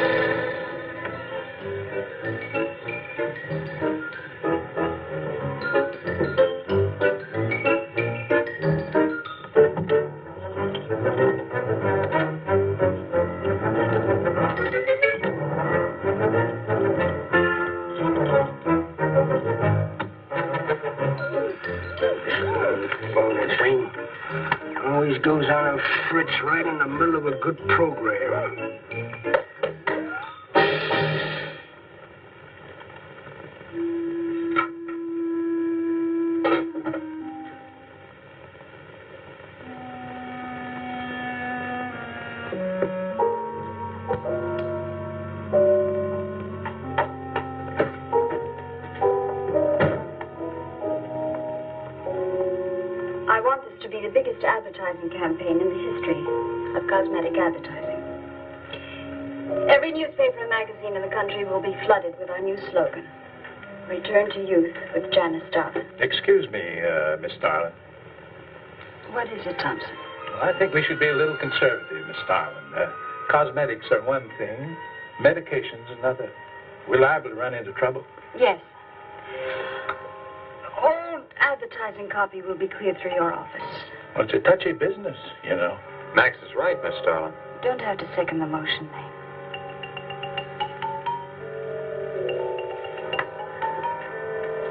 I want one thing understood very clearly now, gentlemen. Janice Starlin Enterprises is going to bring the most fantastically saleable product ever developed by modern cosmetics to the public. And I don't intend to be restricted by timidity on the part of my own staff. Is that clear?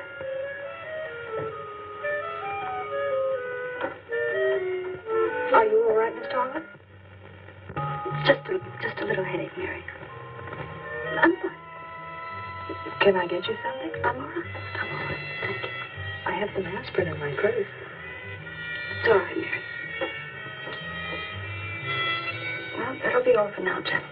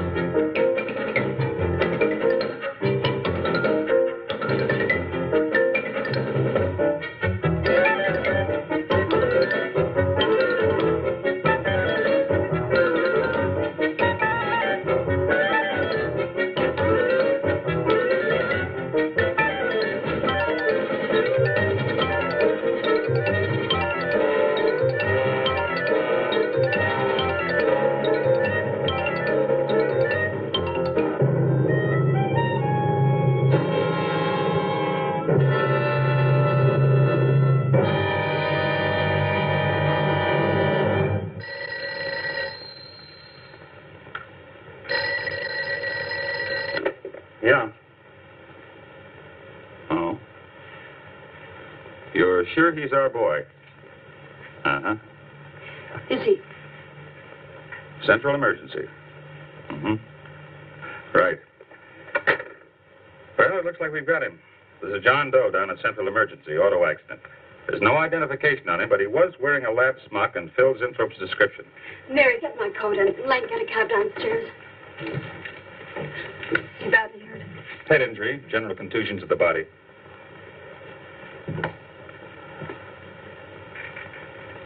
He's had a severe injury and there's definite brain damage. Just how much, we can't tell as yet. How long before you'll know? It's hard to say, Miss Starlin. Who's the best man for this kind of injury? Well, there are several top specialists. Get the best. I'll take full responsibility for the expenses. Yes, Miss Starlin.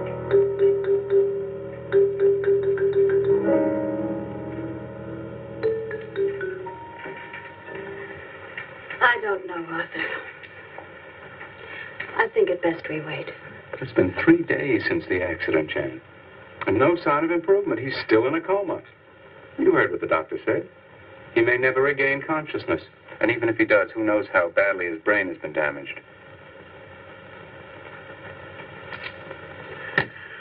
Well, I'll give it another 48 hours.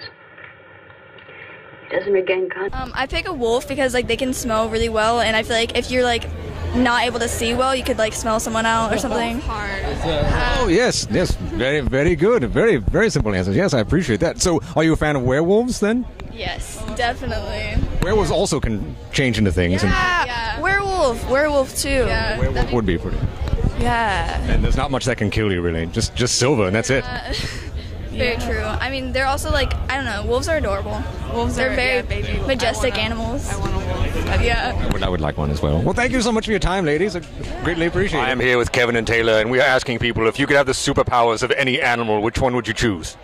Definitely a lion, a shark, or a badger.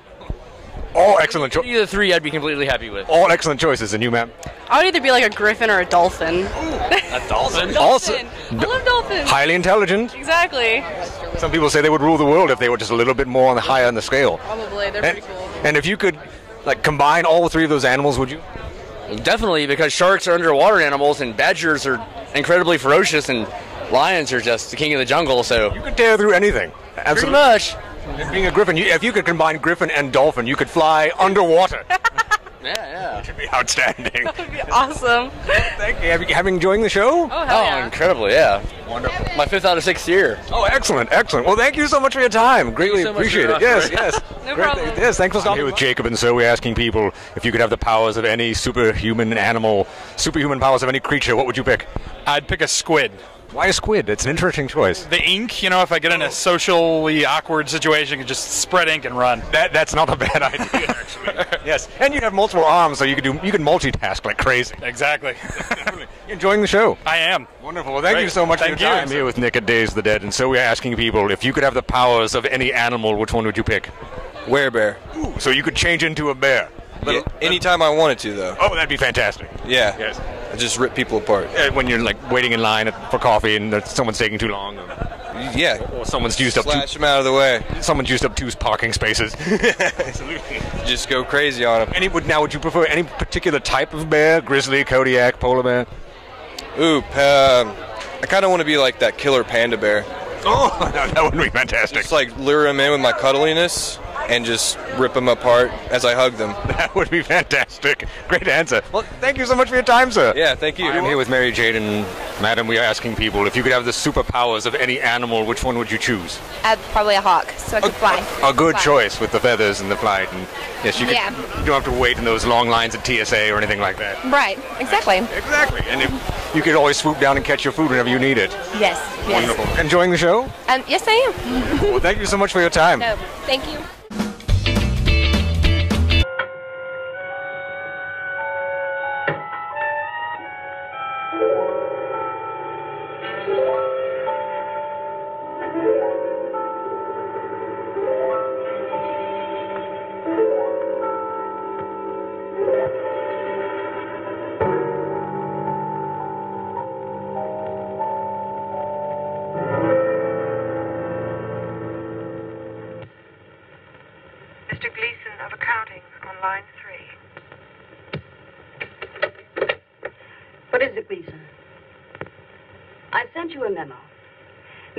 Mr. Has carte blanche to order anything he requires. It is no concern of yours, Gleason. Make out a check for the full amount.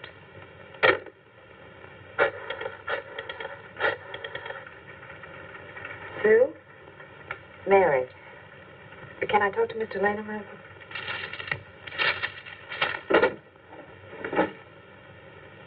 Bill? Hey, listen. Gleason just got a bill for $2,300. Zinthrop. Enzyme extracts.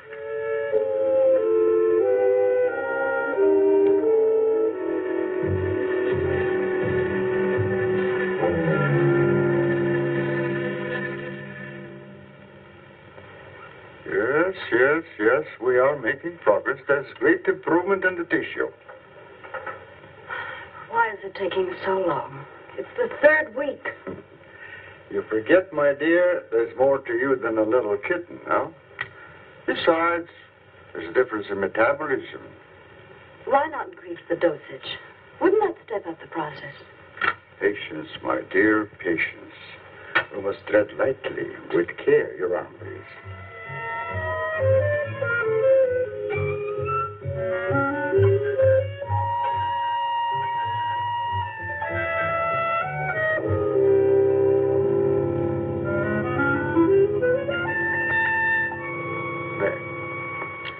You know, I've been experimenting with a concentrated solution of the enzymes. Oh, a great deal more powerful than the solution I've been using in your injection. Oh? Yes.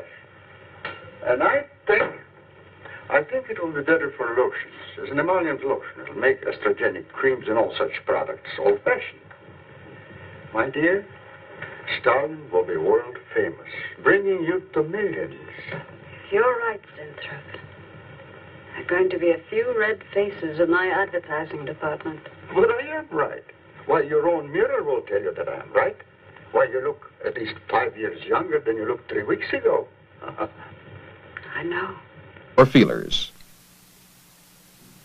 Notice that the body of the wasp has darkened. This process is called tanning and involves hardening of the cuticle, or skin, that forms the body covering. Since the larval stage, the developing wasp has taken in no food.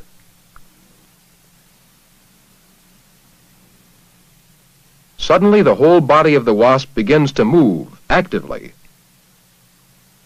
Now the wasp struggles to free itself from the pupal skin. This cellophane-like skin splits and is peeled off, first near the head,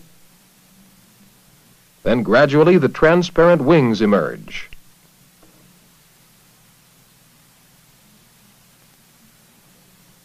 As the old skin is pushed off, the abdomen is freed.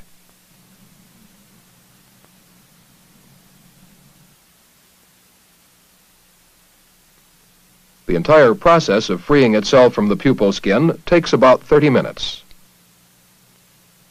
The wasp now pumps fluid into its wings, causing them to expand.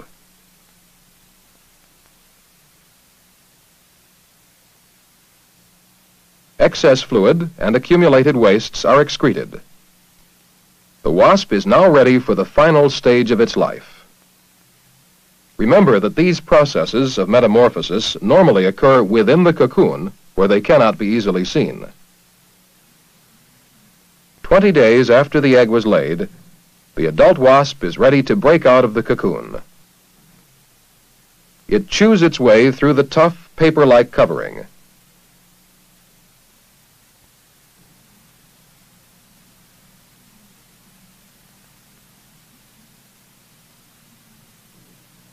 Once free of the cocoon, the wasp has yet to break through the wall of its compartment in order to free itself.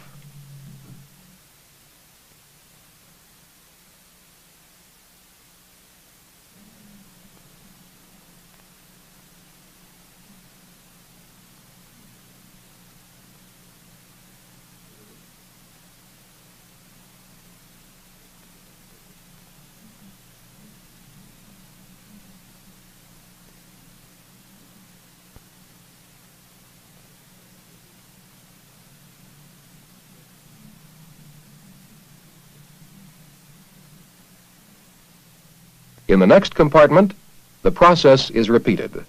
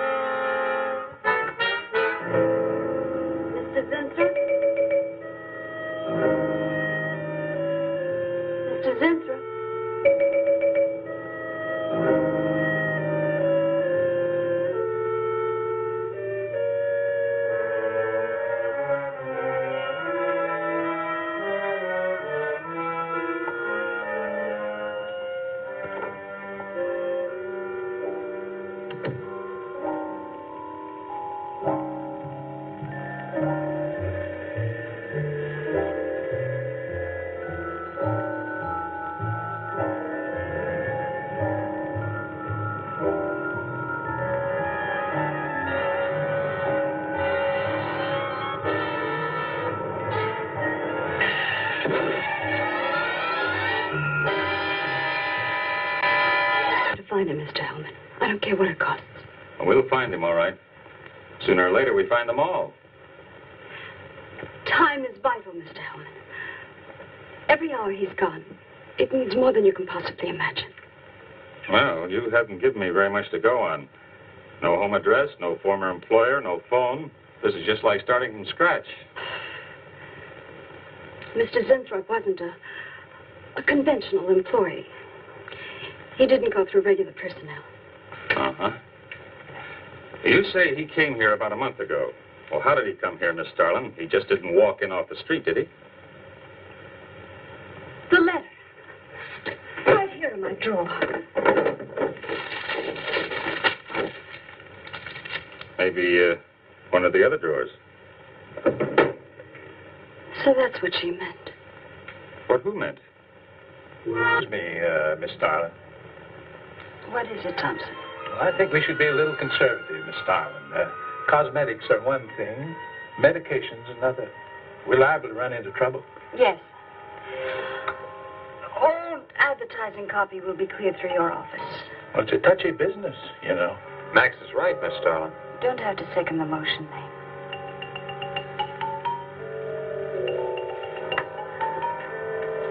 I want one thing understood very clearly now, gentlemen.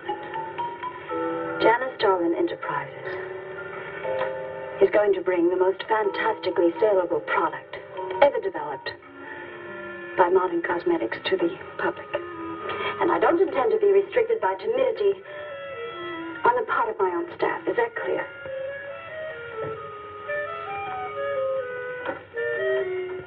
Are you all right, Miss Tarver? Just a, just a little headache, Mary. I'm fine. Can I get you something? I'm all right. I'm all right. Thank you. I have some aspirin in my purse. It's all right, Mary. Well, that'll be all for now, gentlemen.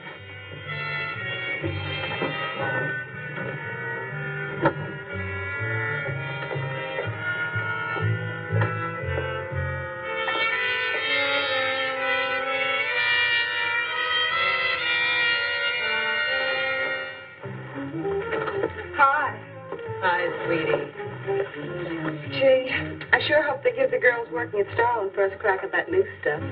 Imagine being 18 again.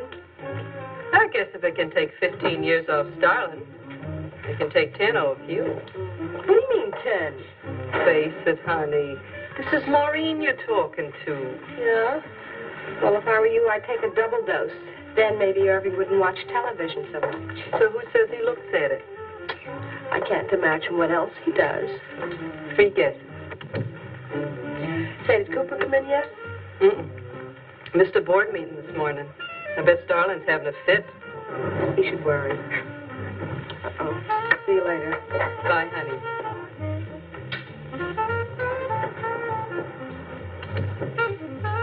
Hi, pretty puss.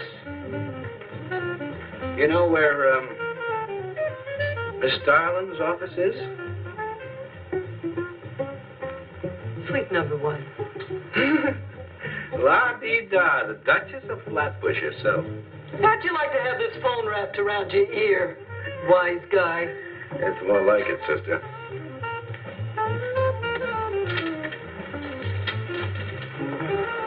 Suite number one.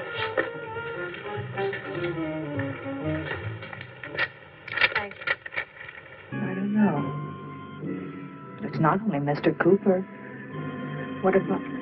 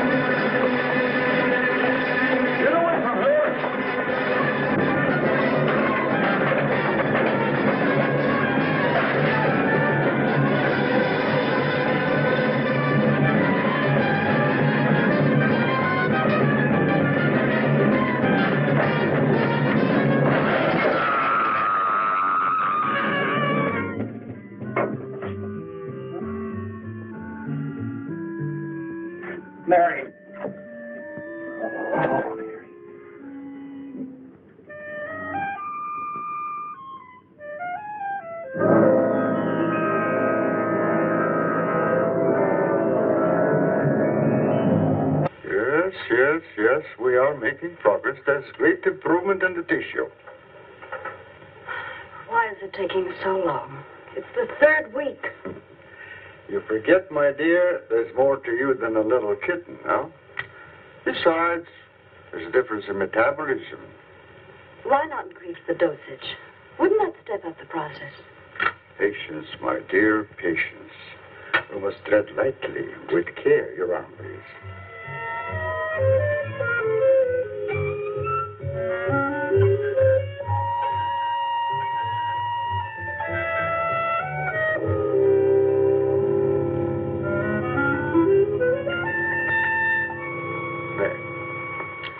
You know, I've been experimenting with a concentrated solution of the enzymes. Oh, a great deal more powerful than the solution I've been using in your injection. Oh? Yes. And I think, I think it will be better for lotions. As an emollient lotion, it'll make estrogenic creams and all such products old-fashioned. My dear, Starlin will be world famous, bringing you to millions. You're right, Zinthrop. There are going to be a few red faces in my advertising department. But I am right. Why, your own mirror will tell you that I am right. Why, you look at least five years younger than you looked three weeks ago. I know.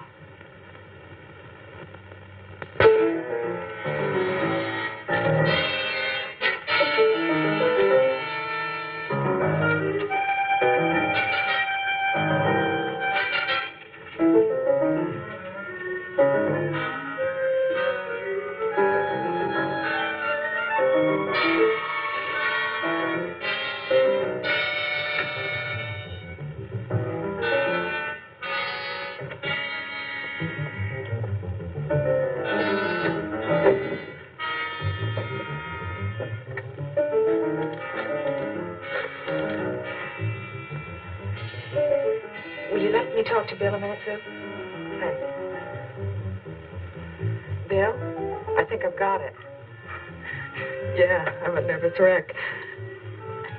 At lunch. At lunch. You'll have to translate for me, Coop. I'm not very good at that technical stuff. Pseudo-technical. Now, Mr. Zinthrop's a very capable confidence man from what I read in this letter. He claims he can stimulate the processes of rejuvenation through the use of enzymes extracted from wasps. Oh, for... Well, what are you two Sherlocks going to do about it? Right now, I don't know. Frankly, I'm getting tired of the whole business. That woman's so intent on holding back time, she's ready to fall for the first phony line she hears. Wasps. Bill. Face.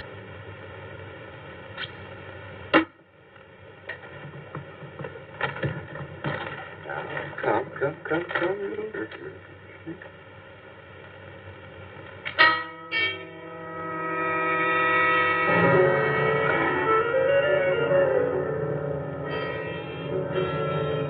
In a few minutes, madame, you shall see a miracle you shall not believe. Oh, no tricks. you may look if you like. I have no tricks. Well, don't look at me. I'm not changing.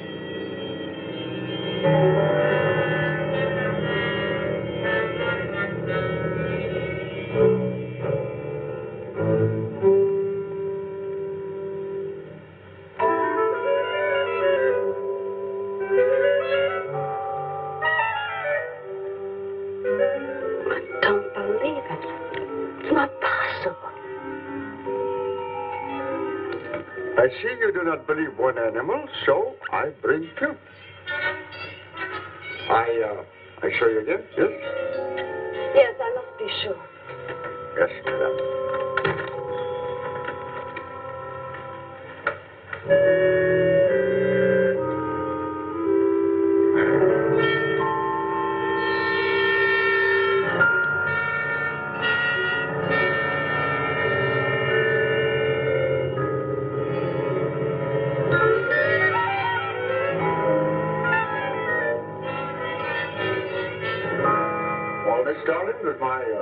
Secret have interest for you? Yes?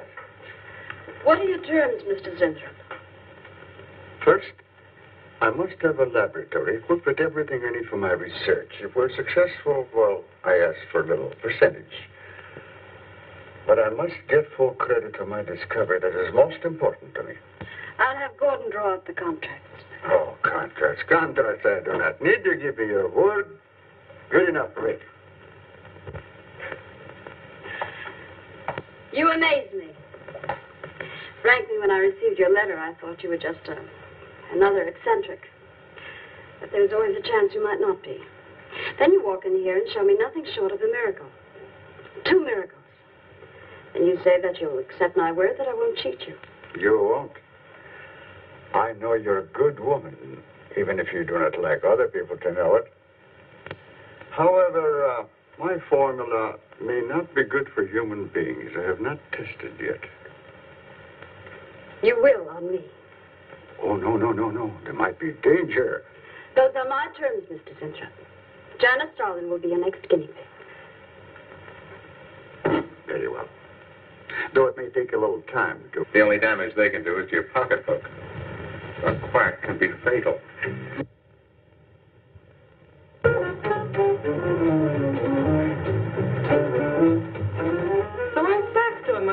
Him, I said, listen, Irving, I'm getting sick of this TV every night. I mean, you know, we can do the same thing in a nightclub.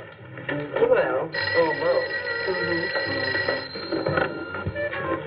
Good morning. Janice Starlin Enterprises.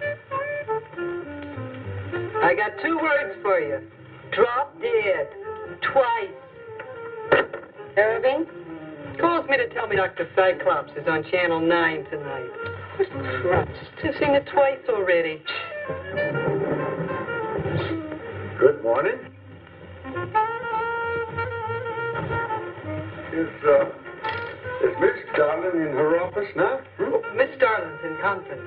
Would you like to speak to her secretary? Oh, no, no, no. Just say to Miss Darling I should like to see her when she has time, huh? Yes.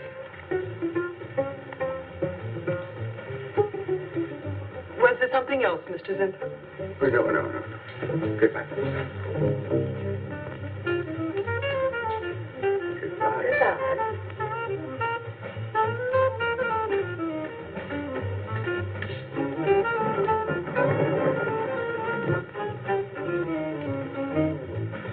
What a character.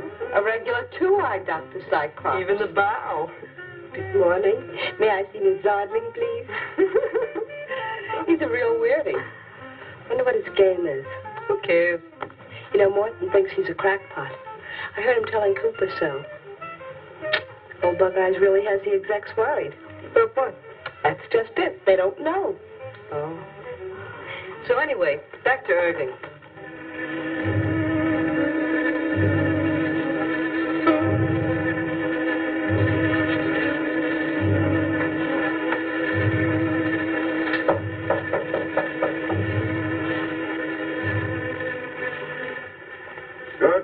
Miss darling, good morning. Good morning. I couldn't get away any sooner. Is it important? Miss Darling? do you remember the big cat I showed you last week? No? Mm. What about it? Well, I want you to look at him. Come.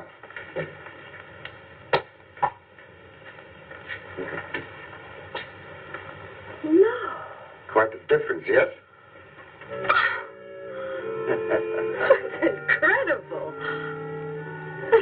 Say, Mark, It's a cat.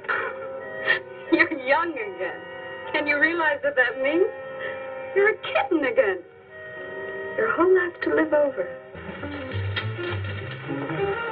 Suite number one.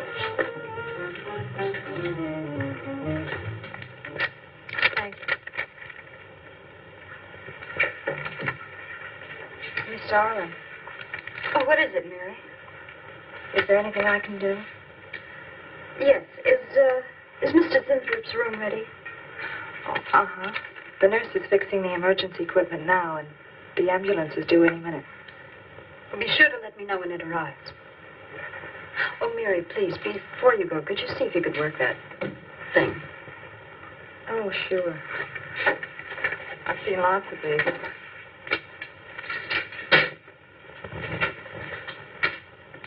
Oh, simple enough. That'll be all, Mary. Thank you.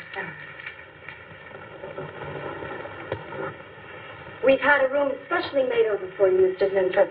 And Miss Warren has a room adjoining yours, so there'll be someone near you at all times. Thank you.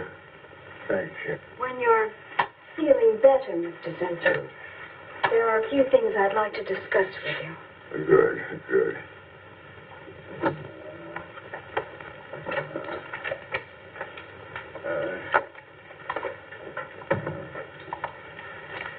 We'll do everything we can to make you comfortable, Mr. Zinthrop. I'm going to spend the nights here in my office. So if anything develops, I'll be in hand. Uh, thank you. Thank you. Darling. Only, only there's so- something. I must tell you something important. But important, but uh, I cannot remember. I'm sure it can wait. Right now, the main thing is to get you back to health. Take good care of him, Miss Warren. Yes, Miss Starlin. Sure is funny about old Coop. She misses one day at work and you're ready to call missing person. Well, he's a pretty conscientious guy, honey. If he felt sick or something, he'd have called in. Relax. We'll probably be in bright and chipper in the morning. Interrupting something? Oh, we were just having a little coffee clutch, Miss Starlin. We were talking about Mr. Cooper. What about Mr. Cooper? Well, about his missing the meeting this morning. Nobody's been able to reach him all day. Oh, I wouldn't worry about that. Mr. Cooper's been here a long time. Probably feels he's entitled to take a day for himself now and then. That's what I've been trying to tell Mr. Lane. Oh, by the way, Miss Starlin, how is Mr. Zinthrop? Oh, fine. In a few days, we'll uh, start the layouts for the campaign. Oh, I'm ready when you are, boss. The life cycle of a solitary wasp provides us with a remarkable study of the complex process of growth and development called metamorphosis. Students noticed a wasp going in and out of this hollow wooden penholder. The wasp did this over and over again. When the penholder was opened, four compartments were found inside.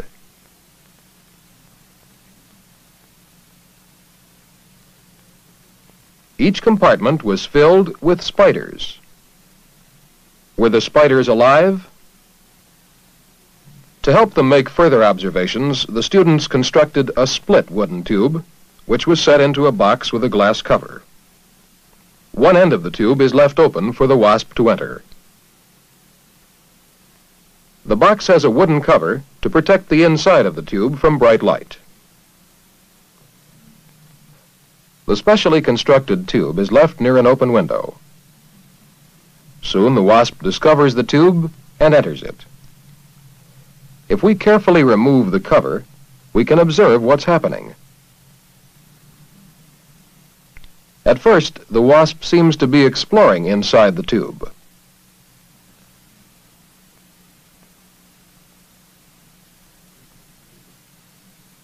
Then it backs out of the tube and flies away.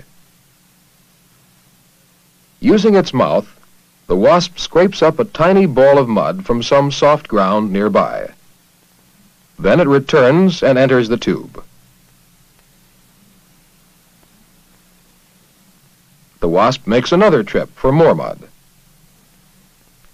At first, it's difficult to see what the mud is for. But soon it is evident that the wasp is using the mud to build a wall. The next time the wasp returns to the tube, it is carrying something else. A spider. Other trips bring more spiders.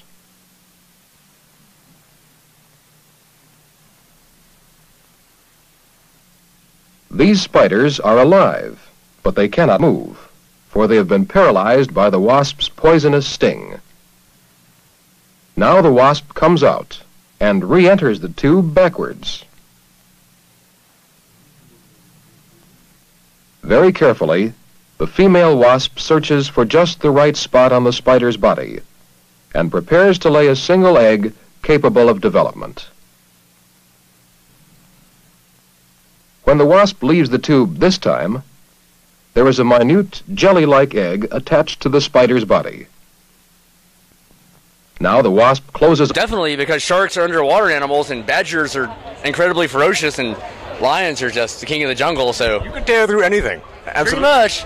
And being a griffin, you, if you could combine griffin and dolphin, you could fly underwater.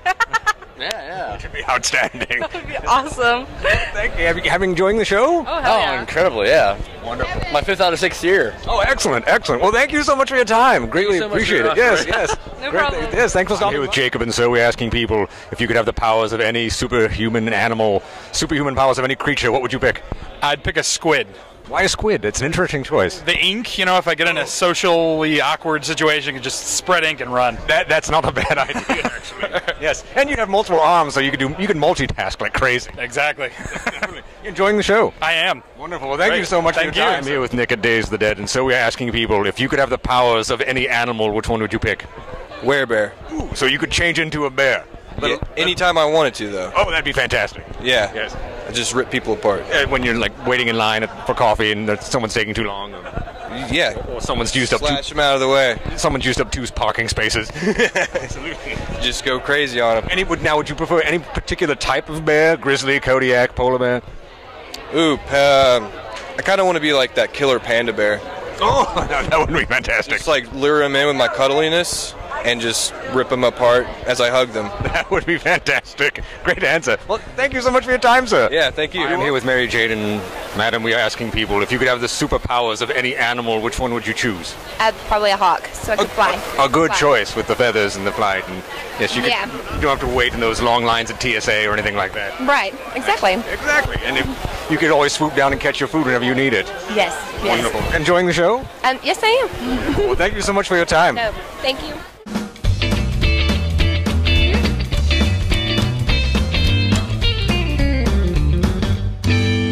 Hello, ladies and gentlemen. Just a few words about the cast and crew of tonight's film, The Wasp Woman. There are so many of your favorite players in this who have been in so many of your favorite movies that I had to make a list.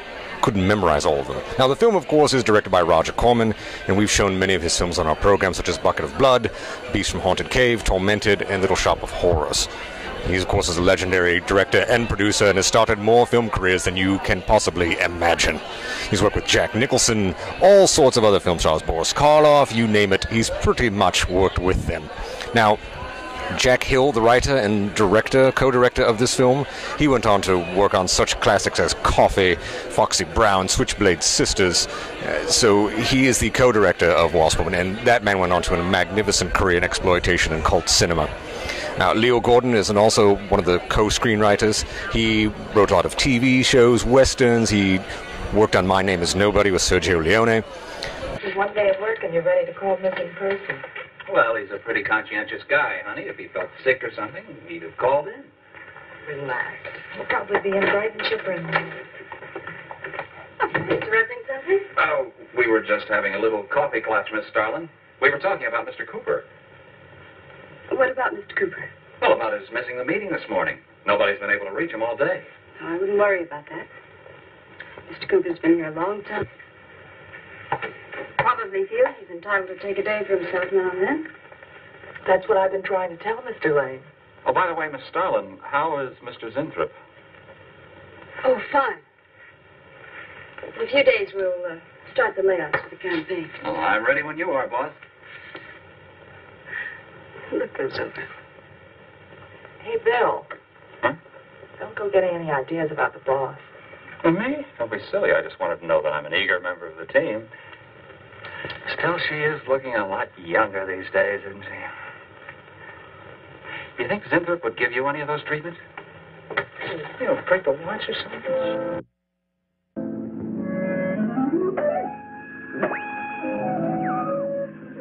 Guarantee of this,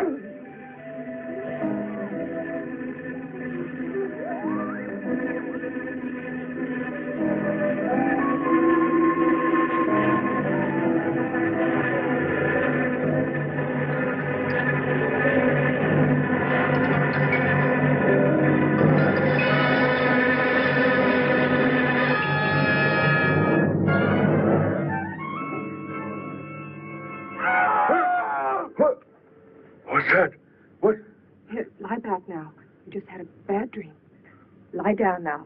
Oh, Go to sleep. such, such horrible sound.